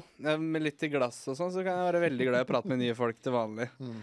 Men uh, når det er Eller er det en fyr jeg liker, da, så syns jeg det er kjempeålreit. Men Ja. noen ganger så syns jeg det er ordentlig tungt å sitte og bare Fy faen. Og bare vite at man må sitte et sted en halvtime med noen man ikke egentlig er så keen på å prate med. Da får jeg ek kjenne på ekte ubehag, som er sånn Jeg blir stressa.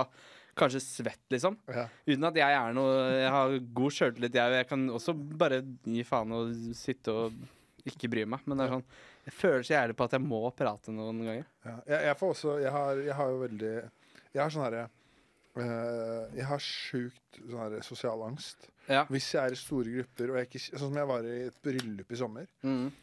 Og så hadde de tydeligvis skrevet at det var en sånn dress code da, på, for det var en helg hele bryllupet. da Ja. Eller hele, det var bryllupet var hele helgen. ja, ja, det har blitt, blitt sånn. Ja, og da på Kanskje vært sånn ja, ja, Jeg vet ikke. jeg, Aldri gifta meg. Jeg tror, ikke, jeg tror ikke det er nytt av året, men Men da var det tydeligvis da var det, eh, det skulle være På fredagen der, da, så var det jo mingling og grilling og sånn. Mm. Og da var det tydeligvis uh, shorts og hvit skjorte da, som var greia. Jeg tror ikke han idioten her da møtte opp i eh, en eller annen uh, olabukse og en eller annen uh, stygg genser. da Så ser jeg det som det står 30 andre gutter der. Ah, Og jeg da kjenner- jeg fått vondt. Og jeg kjenner ingen. Og da var det, sånn, det var det, det er det nærmeste jeg har vært sånn, onk, sånn panikkanfall. Ja. For da sa jeg liksom til samboeren min sånn her du, jeg, må, jeg må gå på rommet. For jeg, da merka jeg at det knøyt seg i Ja. brystet. Faen, det er rart. Ja, ja, sånn, Altså, ja, sånn, ja. ah, jeg skulle så gjerne vært Jeg skulle gjerne gitt flatt faen, ikke sant? ja, men jeg klarer ikke. Mange, det er jo sånn noe folk tror jeg gjør, da. Mm. Du gir jo helt faen. Og så bare Det gjør jeg ikke, altså. Nei. Det er ganske gjennomtenkt hva jeg vil si, og jeg er ikke sånn Nei, jeg er ikke helt maskin. øh, At jeg bare kan ja, gå inn i et hvem som helst rom og bare Nei, det er jo noen som, det er noen som er sånn. Noen er sånn. Herregud, det er mange som er sånn. Kjenner flere av de. Han som Jonis, blant annet. Ja. Som bare Ja. Ja, jeg- møtte jo Det var helt tilfeldig med For eksempel Jeg var satt og drakk øl med noen eh, venner på Brygg forrige uke. Mm. Og så var Jonis der tilfeldigvis. Tok ikke to To og et halvt sekund, vel, før han eh, Alle gutta mine var oppslukt i han. Han styrte Ja. samtalen, og dere har fortalt en røverhistorie der. Tok helt For jeg lurer på om han feeder på det, på en måte. For det er heller ikke noe jeg gjør. Jeg liker ikke Jeg, jeg, jeg kan absolutt ta oppmerksomheten og, og sikkert noen ganger bli litt sånn Men nesten mer med folk jeg er veldig komfortable med, da. Ja. Så kan jeg være ved sånn eh, gæren og bare prate og prate. Men det gjør det gjerne ikke hvis det er masse folk jeg ikke kjenner der. Nei. Men jeg blir veldig fort trygg, trygghet rom, da. Det skal jeg si. Ja. Og det er sånn, jeg kan, jeg kan gå på vei dit med masse tanker om at faen, og det her blir stress. Tenk om det er noe kleint, og tenk om det er da, da, da, da. Mm. Og så tar det liksom fem minutter, så bare ah, det her er jo helt cool, liksom. Så, Ja, for det, det, det sliter jeg med også. Jeg Ja. krisemaksimerer. jeg før jeg krisemaksimerer. Ja. Og men da blir man jo positivt overraska ofte. Da. Jeg, jeg tenker ikke at det er en utelukkende negativ ting. Nei. Hvis du kommer inn og bare "Ah, Er den fyren der? dobbel, dobbel rock'n'roll i hånda i, i været. Ja, ja. Ja, da, da Det fins jo de òg. Mm. Som bare Å, han der er jævlig fet, eller? Seere. Ja. Mm. For jeg kan ikke Jeg har ikke, ikke har uh, tall jeg, på mange ganger jeg liksom har Hvis jeg skal ha sånne store familieselskaper, i hvert fall i starten, Mm. med familien til samboeren min Ja. Det liksom kommer 50 stykker, da, Uff. og Ja. liksom kjenner ingen altså, jeg, Da er det sånn Da har jeg sånn ordentlig uggen følelse. Men Ja. så er det liksom ni av ti ganger, da, så blir det kjempehyggelig. ja, det blir kjempehyggelig. Og jeg tenkte på det samme. Jeg var på Jeg har jo tatt med Jeg er jo øh, vil si veldig nær familien min. Vi er jo liksom bare fire stykker, da. Vi har liksom jeg tenker ikke at noen kan synes det er stress å være med min familie. det var sånn jeg, dama, og, og så var jeg med hennes familie. Da var det sånn lite slektssamling og på noe hotell og dritkoselig. Men da var jeg sånn der jeg Tenker at det er litt stress, da. Man må prate og sånn og sånn. Og så skjønner jeg faen, hun har jo hatt det sånn, hun, med min familie. Ja. Og men da har jeg tenkt at det her er det deiligste man kan ha det. Bare så det er så chill. Ja. Så det satte ting litt i perspektiv. Men da har vi, da har vi faen meg det likt likt. Fordi at Mm. Jeg er jo egentlig bare close med den ene siden av familien min. Så jeg har liksom en tante og en fetter. Og altså mormor og bestefar. Og så er det liksom mamma og søsteren min, da. Så, Ja. Som er liksom min, min kjernefamilie. Og så Ja. jeg godt forhold Det er ikke det at jeg har dårlig forhold til faren min, men jeg har liksom ikke Nei, noe godt forhold til familien, eh, eller familien hans. da Nei. Ikke at det er negativt, bare har ikke kontakt. da Nei, ikke sant. eh, Mens hennes familie så er det jo 12-13 søskenbarn, og de har fått fire-fem unger Så jævlig hver. mange. Vi Ja. er elleve stykker da i storfamilien. Ja. Mimmi og farfar og, og liksom sånn. Eller det som vi ofte er sammen. Det er egentlig for så vidt den ene sida. Ja. Og på den andre sida så er det litt, eh, litt eh, Der er det litt mer trøbbel, faktisk. Det er en som er borte, og, altså død, og, en, og noen som ikke har kontakt, og en som ikke har barn, på en måte. Som er kjempegod Som jeg elsker. da. Jeg elsker ikke onkelen min, faktisk. Det er litt høres ut som en eh, noe som Men uh, han er jævla, jævla fin fyr. Ja. Er Veldig, veldig Jeg har en veldig Jeg er superfornøyd med familien min. Ja. Skjønner det mer og mer etter hvert, at eh, faen, folk, ah, det er så mye grums. ja, Og det lille som er i min, det er, det er ikke så gærent, ass. Det er levbart, ja. ja. det er levbart. Men Har du noen søsken, eller? Jeg har en bror, ja. Du har bror, ja. Mm, en bror, To år eldre enn meg. To år eldre enn deg. Vi det- er veldig gode venner. Dere er veldig gode Ja, venner. skikkelig gode venner. Alltid vært. Men han, er han uh, mye på show og sånn, eller? Ja, han får med seg en del. Han okay. gjør det. Jeg tror, ikke, han- jeg tror faen ikke jeg hilst på han. Nei Uh, Nå har ikke, altså, nå har ikke Nei, vi hengt jævlig mye på Nei, nei, men det er litt sånn etter show og sånn, da. Ja. Men uh, Nei, du har sikkert ikke det. Nei. Men han er, han er fan av humor, og han har noen vitser og øh, lufta noe for meg. Sånn. Han vet at jeg ikke er så jævlig mottagelig og interessert i å høre masse sånn forslag til vitser og For det er jeg, det er jeg ikke, men Ja. Men, men han, det er, han er en morsom fyr, da. Men det fins jo kanskje ikke noe mer ræva enn folk som bare Ja, driver med humor, jeg. Har en Ja. vits. Vi, har Ja, en ja, vits som faen, ikke sant? Det var jo faen når vi sto sammen på Bryn der. Ja, Vi da hadde- ja. sjaka Hva var det han sa for noe? Du skal få en historie av meg. Ja. Ja, det er det. Og da var historien hva var det han sa for noe at uh, Han hadde Jo. to stykker. Ja, to stykker. Den ene var at uh, han er sjaman Durek. vet du. Han driver jo og selger sånne amuletter for 10 000 kroner som kurer eh, covid. Men jeg lå jo på sofaen min i fire dager, så jeg var frisk. Så nå skal jeg selge sofaen min. Den kan du ta av meg, bare hyggelig. så, så er du Det sjuk er så i huet. deilig. Jeg var på, jeg har vært på date, jeg var på date med en dame, da. Det var eh, for litt siden. da. Jeg var på restaurant. Og hun, jeg, liker, jeg liker damer når de har egne meninger, så jeg spurte henne hva er det du vil senere i kveld. da? Jeg blir med på det du blir med på, jeg, sa hun. Ja, så du har lyst til å knulle i rød kjole der òg? Det kan du bare få av meg. Så gikk hun inn, slang igjen døra. Det er så Og så kom hun og fortalte den igjen etterpå til de andre da, som ikke hadde fått den med seg. Jeg sa til han i stad, vet du. Fy faen. Det var jo, jeg var jo Helt rå type. Hva faen var det jeg gjorde show da? Det var eh, Hvor helvete var det? Uh, Sikkert Ørsta eller et eller annet sted du pleier å stå. Ja, ja, ja. Jessheim og Nei, nei, nei. det var uh, Ja, Sandefjord, samme hvor det var, da, men da Ja. var, det var ute på landet et eller annet sted. Og da hadde jeg snakka med Shaman Durek, og da var jeg faktisk droppa for å referere til tidligere samtalen. Da var det, da var det en kanskje 60 pluss da, som droppa N-ordet. Ja. Og når jeg var ferdig med settet, så kom han bort til meg og så tok han med hånda bare Jævlig, jævlig gøy og bla, bla, bla. Så sa han at han hadde jobba i radio da, på 80-tallet. Så han hadde noen gode vitser på lager. Spurte han om jeg var Ilahadi, så må, jeg, så må man bare si ja. Fort, fortell meg. Ja, ja. Og da var vitsen det at eh, det var ei eh, Det var ei dame som hadde seks sønner, og alle het eh, Hans eh, Alle het Thomas. Og så, sa, så var folk sånn Men faen, er det, ikke, er det ikke vanskelig da å få kontakt med barna dine? Og så sier jeg nei, nei, det er helt nydelig. Det er middag, så roper jeg bare Thomas, kommer alle seks. Og så, ja, hvis du skal ha tak i en av dem? Nei, da roper jeg etternavnet.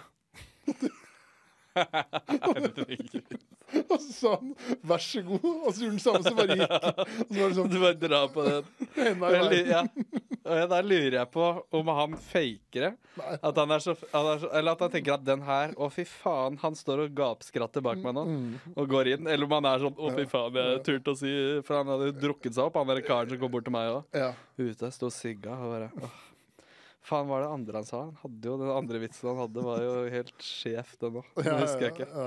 Ja, ja. Den var så bra at jeg ikke husker den. Men det er som regel, eh, det er som regel Uh, menn, men 40 pluss som har Ja. selvtilliten til å komme bort og pitche noen vitser der. Uh, Ja, ja, ja. Ap- Altså, faren min Han er øh, 58 nå, eller noe sånt. Så han er jo akkurat den alderen. Og er jo mye sånn der, det, det, den kan- ja, men det kan du ta på scenen, vet du. Så det er et eller annet morsom historie. Så bare, jeg trenger Jeg tror ikke jeg skal gå opp med en s- historie om kompisen din på settet mitt i Oslo. Det er så mange ledd her, så det tar litt lang tid å forklare. Så. Nei, man må liksom leve i et med andre, da. De har helt sikkert lyst til å stå. De ser standup og tenker 'faen, jeg har så mye bra jeg, som kan komme dit'.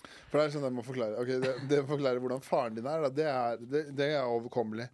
Men Ja. så skal du begynne å forklare om kompisen til faren din, som er liksom en legende fra Skien. det begynner å bli litt utfordrende Ja. ute der, da.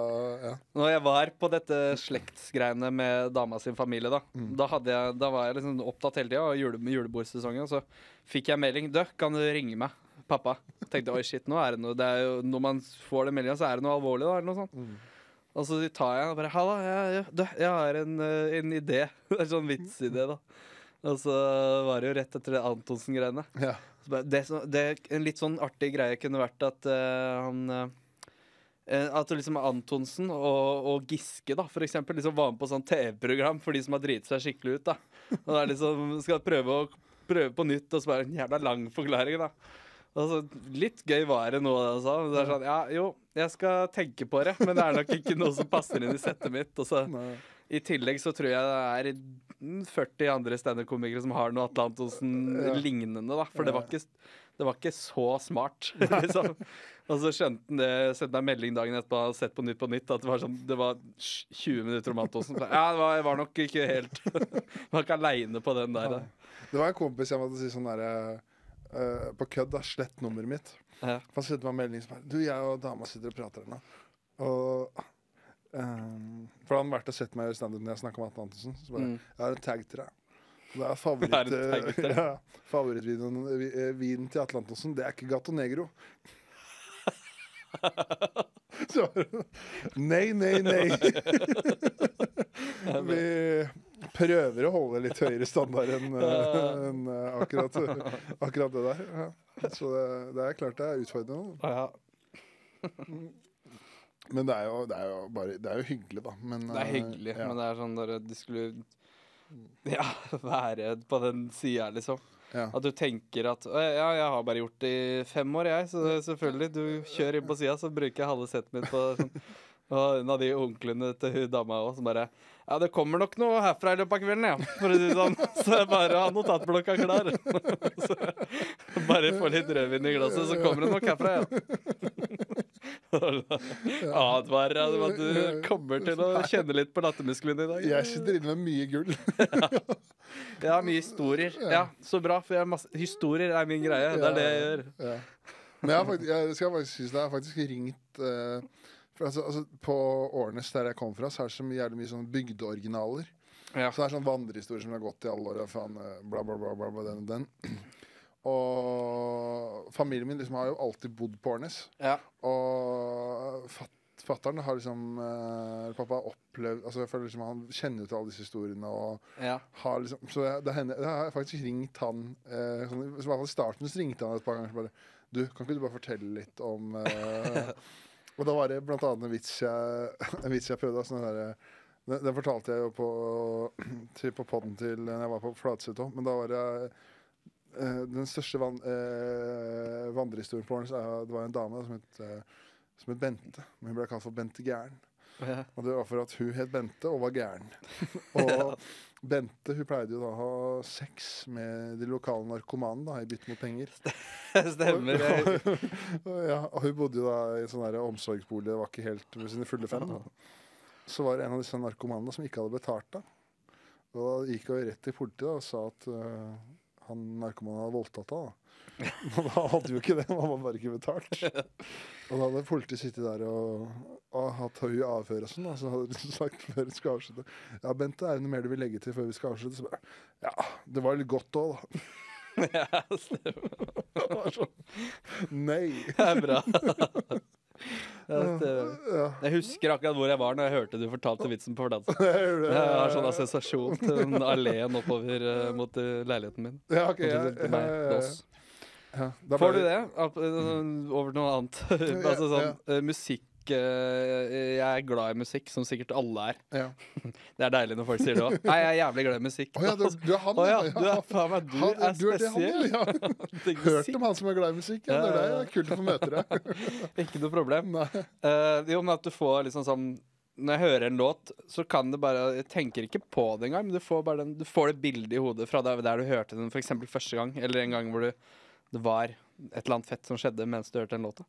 Eh, Jeg har men- mange sanger så har jeg liksom assosiasjon til første gangen jeg hørte de og fant de, og bare At det setter seg, da. Virkelig. Sånn musikkgreier. Jeg får, Sanger heter eh, jeg får mer assosiasjon til eh, på, Hvis jeg hører en sang som jeg har sett på konsert, ja. så får jeg liksom Faen, det var jævlig kul konsert. ja, ja, det skjønner jeg. det er jævlig basic bitch, da, men jeg liksom, har sett Karpe et par ganger i Spektrum og på Rockefeller og sånn. Ja, Eh, og hvis jeg hører Og så så Et par ganger.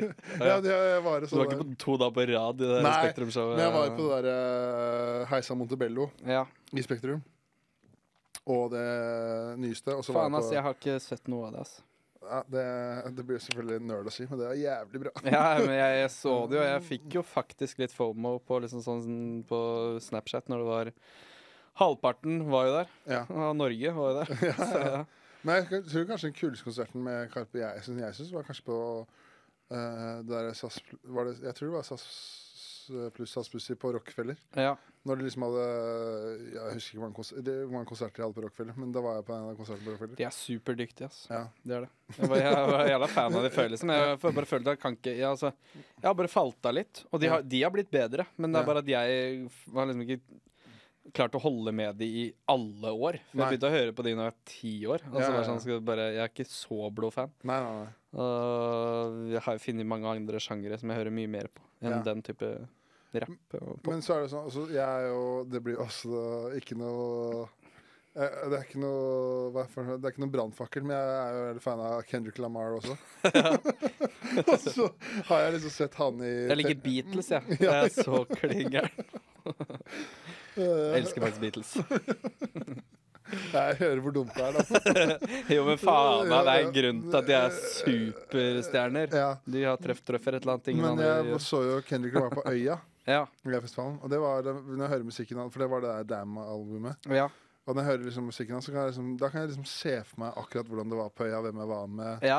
eh, hvordan det var rundt meg, akkurat hvor jeg sto i forhold til scenen på hovedscenen på Øya der og sånn. Så det var akkurat det. Men jeg, jeg kan ikke si at jeg eh, liksom går rundt og hører eh, Miley Cyrus Flowers, og så bare Faen, stemmer det, jeg var i Torgata 26. ja nei, men, det, men sånn har jeg det. At jeg Ja. hører en låt så bare, Faen, der Så tenker jeg på den svingen jeg kjørte i med bilen, liksom. Jeg har det, bare, okay. det var selvfølgelig der. På veien fra Bergen kjørte jeg én gang. ja.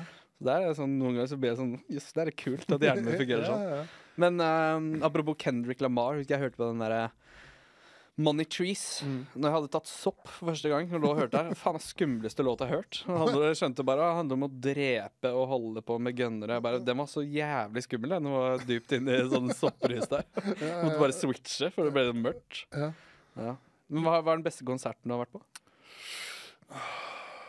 Musikkpodden med Espen og Gaute. Ja. Eh, nei, ta, ta vel imot Asbjørn Slettemark, holdt jeg på å si, men, uh, men beste, Vi var på en uh, hulsker, det. La oss holde han utafor. Men, uh, men beste konserten Nei, jeg tror, fa jeg tror faen meg det er Jeg tror faen meg Karpe og Rockefeller, tror Ja. jeg. Men det er fordi Hører du at magen min rumler nå, liksom? Nei, det gjør det ikke. Men jeg Jeg hører kjenner det som, Det er helt syk. Jeg tror de hører det der hjemme. det, det kan jeg. Men jeg hører, jeg hører veldig godt når du helte opp i Sidarlista. Ja.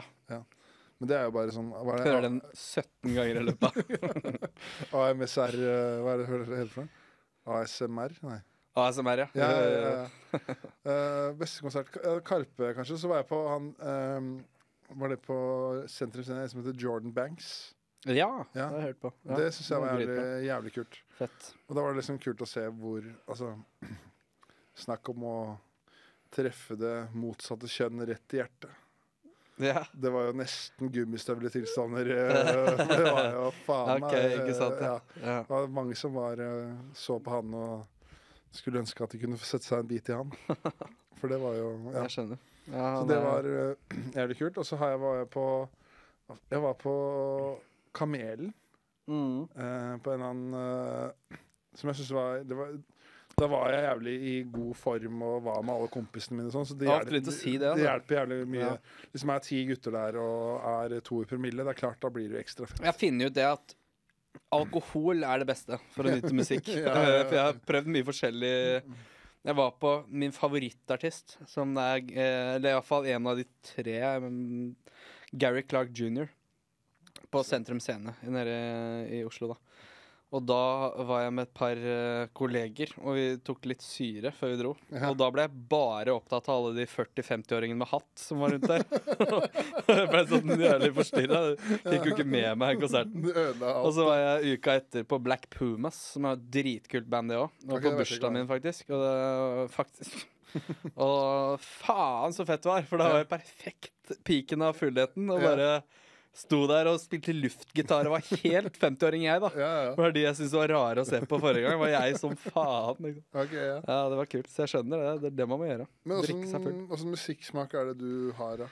Åh, jeg har uh, Det forandra seg litt. Altså, jeg, jeg har begynt å høre på liksom, en del country og sånn også jeg, de siste Ja. åra. Det er veldig koselig å høre. Det er veldig deilig å høre på. Ja, det det er det. Det er mye. Det er vakre Men glad i en vakker stemme var jeg i hvert fall lenge. Mm. Jeg hører på blues. Mye blues. Og litt sånn americana eh, Gammel sånn amerikansk Litt sånn uh, Faen. Charlie Crocket. Sjekk det ut. Ja, En av mine favorittartister. Er det mer funk, eller er det Nei, men Nei. jeg er glad i sånn funk, og jeg kan være glad i noe rap. Og veldig glad, var jævla glad i pop en periode, så jeg er veldig altetende. mm. Men finner liksom artister som jeg bare blir oppslukt av. Men uh, nå er det absolutt mest sånn uh, litt sånn folk eh, Eller faen, er americana. Bluegrass. Som er litt sånn der roots amerikansk musikk. Ja. Ja, Med litt sånn orgeltype lyd og noe fet uh, vreng på gitaren. Ja. Og litt sånn, uh, ja. Men det er litt kult, da. Og For, det noe banjo, sånn, banjo, piano og sånn. Det, faen, nei, det er mye, mye forskjellig. for da er liksom Jeg føler det er litt mye kulere og Sånn som jeg, da. Som sånn herre Ja, du må komme på topp 20. Ja, På- Mange vil kalle musikksmaken min gubbete. Liksom, skjønner du? At Ja, det kunne vært passa fint. Jeg har gjerne mye musikk jeg viser til mamma og pappa som det. Å, herregud, det er dritfint. Ja, ja, ja. Altså, ja, OK, så kult. For det er litt mer sånn her ja, faen, ja, Nå er jo den rapplåta her eh, topp 20-verden. Da er jeg sånn Faen, det var jo kul. Ja, Jeg er litt- jeg er litt mer ja, okay, ok, Jeg sånn, falt av det for veldig lenge siden. Det er Ja. topplistekjøret. Ja. Ja, Men det er jo mye, ku det er mye kulere å liksom sånn her dra på Jeg føler i hvert fall Ja. Jeg har funnet min egen musikksmak, da, Ja, sånn virkelig. Og bare å, å utforske nye band. Og bare sånn, ok, det her er en dritfin låt. Nå skal jeg faktisk sjekke ut alle, alle albumene hennes. da Og så finner du plutselig fem låter til som er fantastiske.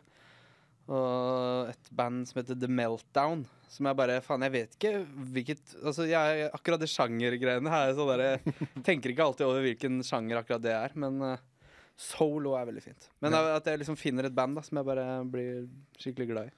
Men det er mulig jeg eh, overanalyserer. Men jeg kan se for meg liksom sånn når du er på Senter Usena med et band som ikke er så kjent. Mm. Og da er, det liksom, da er det dere tusen da som Ja. liksom digger det her i, Ja, det er det. i Det Oslo. kult. Så det blir sånn der liten sånn derre Ja. Vi, vi er inne på noe her som ikke alle andre er klar over. Blir det litt sånn? Ja, det kan jeg føle på. Og det at, det, at man kommer dit fordi man elsker en artist som ikke er så kjent eh, blant norske folk. Som er sånn OK, vi har i hvert fall funnet han, da.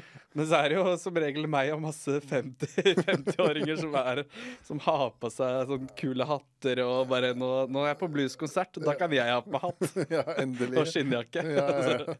så så det syns jeg er jævla gøy. Ja. For det kan jo bli Altså det derre populære musikkulturen, da. Det kan jo bli for mye av. Altså, altså du jeg skal, ha bet, jeg skal ha betalt for å dra på julekonsert med Kurt Nilsen. Ja. Altså, jeg har jo venner som liksom har vært Som har sånn tradisjon med Ja. ja. Vi drar med mamma og pappa på Kurt Nilsen i Spektrum. Men det er så jævlig NPC, da. Ja. Det, uttrykket der som jeg lærte for noen dager siden. Gjerne forklar meg hva det er. Jeg nikker og eh, later. for det er NPC.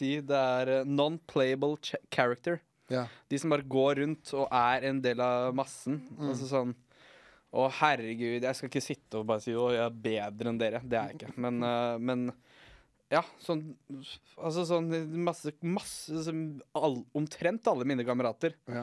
setter jo bare på en liste som er sånn party, eller bare sånn topplista, eller noe jævla sånn Jeg har eh, kamerater som faktisk i, i, i åtte år har hørt på sånn uh, Stian Torbjørnsen og sånn jævlig hard partymusikk, broiler, og så bare ja, det er gøy når du er dritings i ti minutter. Men når du har holdt på med åtte år på rad og bare setter på samme eh, ja, så jævlig dårlig musikk, da, spør du meg. Det er begrensa hvor mange ganger du gidder å høre på Krokstadelva. Ja, det er virkelig, ikke sant? ja, ja. Ja. Jeg husker, nei, Det er vel liksom flaut da, når vi er blitt eldre. Og bare tok med kamerat, Marco, da, som vi snakka om tidligere. Ja. Og bare ja, jeg skal møte Skiensgutta. og så får vi ikke prata sammen engang, for det er bare Det er soundbox med Vidar Villa på anlegget. I en partyversjon. Og det er sånn Faen, så fra Skien er vi ikke. Nei. Det går bra liksom. La oss liksom i hvert fall late som vi er siviliserte. Ja. ja. Ja, så jeg, jeg, jeg gjør det av og til at jeg går ut under vorspielet og så tar med AirPods da, så tar en sigg og så hører på noen bra låter. Og så er det for å fylle på batteriene. ja. Ja, men det skjer, altså. Det gjør det? Men det er for litt fordi at det er så digg òg, da. Å høre på de sangene man elsker Ja. mest. Men da har du da, du har jo da ordentlig kjærlighet for musikk, da. Det har jeg. altså Jeg Ja, hører på ja. musikk hele tiden. Jeg klarer Ja. ikke å gjøre det. Altså, podcast, jeg hører veldig mye på podkast også. Jeg er veldig opptatt Jeg er veldig lite aleine med tankene mine, føler jeg. Det er kanskje en, det er kanskje en flukt. Ja. Det sånn, hvis jeg skal ned og hente posten to etasjer ned, så, bare, så, så bruker jeg heller ti minutter på å lete etter AirPodsa enn å bare gå ned og gjøre det fort. For jeg vil ha en låt da, på den lille veien. Alt for å slippe å tenke. det er jævlig gøy. Men jeg, jeg klarer ikke å sovne lenger uten podkast. Nei, ikke jeg heller. Det er ikke snakk om. Og det er jo sli, det er litt slitsomt. Men jeg, klar, Jeg kan får- gjespe på meg krampe i, i kjeften og bare svir i øya for jeg er så trøtt. Og så tar jeg ut øreproppene og ikke har noe prat lenger. Og så, og så bare Nei, da var jeg våken, jeg. Da kan jeg egentlig stå opp og gå på jobb, jeg. Ja, ja, ja. Ja. Men har du Det er irriterende, egentlig. Er det sånn altså, Sitter du noen ganger for deg selv og liksom funderer over livet? Eh, ja, men over livet Nei, men ok, men har du sånn altså, sånn derre Sitter du Jeg er en liksom veldig Jeg, jeg vil si jeg er en tenkende person. Ja? Jeg er veldig, veldig fantasi. Mhm. Så jeg kan heller nesten mer fantasere om ting som ikke handler om de ekte tingene i livet, da. Men sånn, jeg, jeg, men jeg Jo, absolutt. Eh, Det er jo det som skjer på slutten av kvelden egentlig også. Da begynner man å tenke Med en gang man har det der eh, Når man ikke har noe annet, så, Ja. så kommer bare tankene. Men du er ikke sånn som sitter liksom hjemme Er du sånn som sitter hjemme og liksom bare eh, begynner å fantasere hvordan Eller begynner å tenke sånn Hvordan egentlig folk, ah, folk i Ukraina har det? da? Er, liksom, er, er du sånn? Nei Det kan gå inn på meg når jeg leste en jævlig fæl sak derfra et halvt år tilbake. Og da var det nesten sånn OK, det er vi ikke Da slutta jeg å lese om det. Yeah. For det gikk litt inn på meg sånn på ekte, da. At det var sånn Det, faen, det er så vondt. Og det kan jo være mye som er sånn sånn der døden og sånn, syns jeg er skummel. Det har jeg alltid egentlig syntes. Fra, eller fra og med bestemora mi døde, så har jeg vært sånn faen fått et sånn Ja, jeg syns det er litt uh, skummelt. Ja. Fælt. Men det er samme for alle. Man vet ikke når man er det, så er det sånn Ja, det er noe trøst i det òg. ja. Det er ingen som er aleine om det. Altså, det er sånn Det føles så ensomt å sitte og tenke på at man skal dø aleine og sånn, men det, alle, alle kan ha de tankene. ja. Men jeg føler bedre. noen som er sånn bare sånn Nei Veldig sånn tilfreds, tilfreds med at man skal dø også, men det kan hende det er sånn Ja. karakter de har, da. Jeg skjønner, ja, for det syns jeg er litt sånn Ja, det syns jeg er litt rart. Broren min er litt sånn, egentlig. Han har jævlig sånn hva skal det, slakt forhold til det. Bare sånn, Men du har, man har ikke snøring. Det skjer. Altså, det, er sånn, det er verst for de rundt deg. Jo, jo, men det er fordi at da er du bare borte. Og det er det jeg syns er skummelt. da Ja. Men uh, Nei det, har- det har gitt seg litt, da. Mm. Det har det. Men- Nyter livet. jeg, jeg, jeg, jeg er positiv fyr, jeg vil si det. Det er jo mange Ja, sikkert mange som er litt sånn enkle, som ikke tenker på de tingene engang. Så Ja. ja. faen, det har aldri slått meg. å spørre. Ja, ok. det burde det gjøre etter hvert. Hvis ikke så kommer du på en jævlig hard vegg i trynet etter hvert. Da Ja. møter du den ganske greit. Ja, så kommer det som en overraskelse foreldrene dine dauer fuck. eh, 60 år, og så bare shit. Jeg skal dø òg. fem år igjen. ja. Men har du noe sånn eh, Du snakka jo liksom at du har sånn eh, veldig bra forhold til familien. og Sånn, har du sånn at eh, Nå kan hende vi beveger oss over i en annen sjanger av podkast, men er det sånn Har du lyst på egen familie og barn og Ja da, det har jeg. Ja. Ja. For du har jo samboer og hele pakka. Og, Mm. ja, Ja, Jeg har absolutt lyst på unger etter hvert. ja, Ikke med en gang. nei. Men eh, nei, jeg har tenkt på det, da. Jeg syns jo det er hyggelig. Og jeg har tenkt at det er liksom en Ja, igjen, altså, i store perspektiv, at det er en av de tingene som i hvert fall skal gjøre i løpet av livet. da Få, få noen unger. Og jeg tror det er man kan tenke, Noen er jo sånn her Man burde ikke få unger inn i denne verden her og sånn. Det er jævlig negativt, tenker jeg. Altså, når man får det, så er vel det dritstort, tror jeg. Ja, Ut fra hva jeg har skjønt, for alle som har det. Det er, jeg vil jo si at det er ganske Det er ganske stas. ja. Mm. Det må jo være en av de flotteste tingene man kan oppleve. Absolutt. Ja. Det, er, det er, ja, det er høyt oppe på det, ja, det er vel høyest på lista, holdt på å si. Ja, jeg hadde jo et jævlig bra så sett på Njø her. Nei, men det er, var i Tromsø med dag. Ja. Det var også jævlig kult. Det var jævlig Nei, men det er jo det er klart det er det råeste I hvert fall det råeste jeg har. Altså sånn Du har én unge, eller? to. To unger, ja. Ja. Faen, sorry. Nei, nei, nei. Men, du bryr deg ikke så mye om den ene? Var det sånn Ja, sånn der. ja, så Jeg må snakke kun om én. sa noe i pause her, skjønner du. Men det er, jeg hadde jo Kevin Kildahl her, og Mm. han snakka en halvtime om hvor jævla egoistisk det var å få barn. så sånn der bare Yes, nei, men det, var inne på noe der, Kevin. Ja, jeg tenkte på det motsatte. At jeg alltid har tenkt at det er så solidarisk å adoptere unger. Ja. Men egentlig at det er jo litt digg Kanskje at jeg er keen på å gjøre det. Hvis jeg ikke kan få unger, da, Mm. så er det litt sånn vinn at da skal jeg få Heller adoptere en på sånn seks-sju år. Ja. For å slipper de der søvnløse åra og dere skifte bleier og holde på. Ja. Så at det kanskje er mindre selfish å adoptere. Ja, Eller det- mer, da. Ja, fordi at da bare ja. Du, du, Og da later du som du gjør noe jævlig bra. ja, så det Så har du Nå kan jeg gjøre hva faen jeg vil, ja. Ja, ja, ja. ja faen, jeg er 15-åring, jeg. Er Null, stress.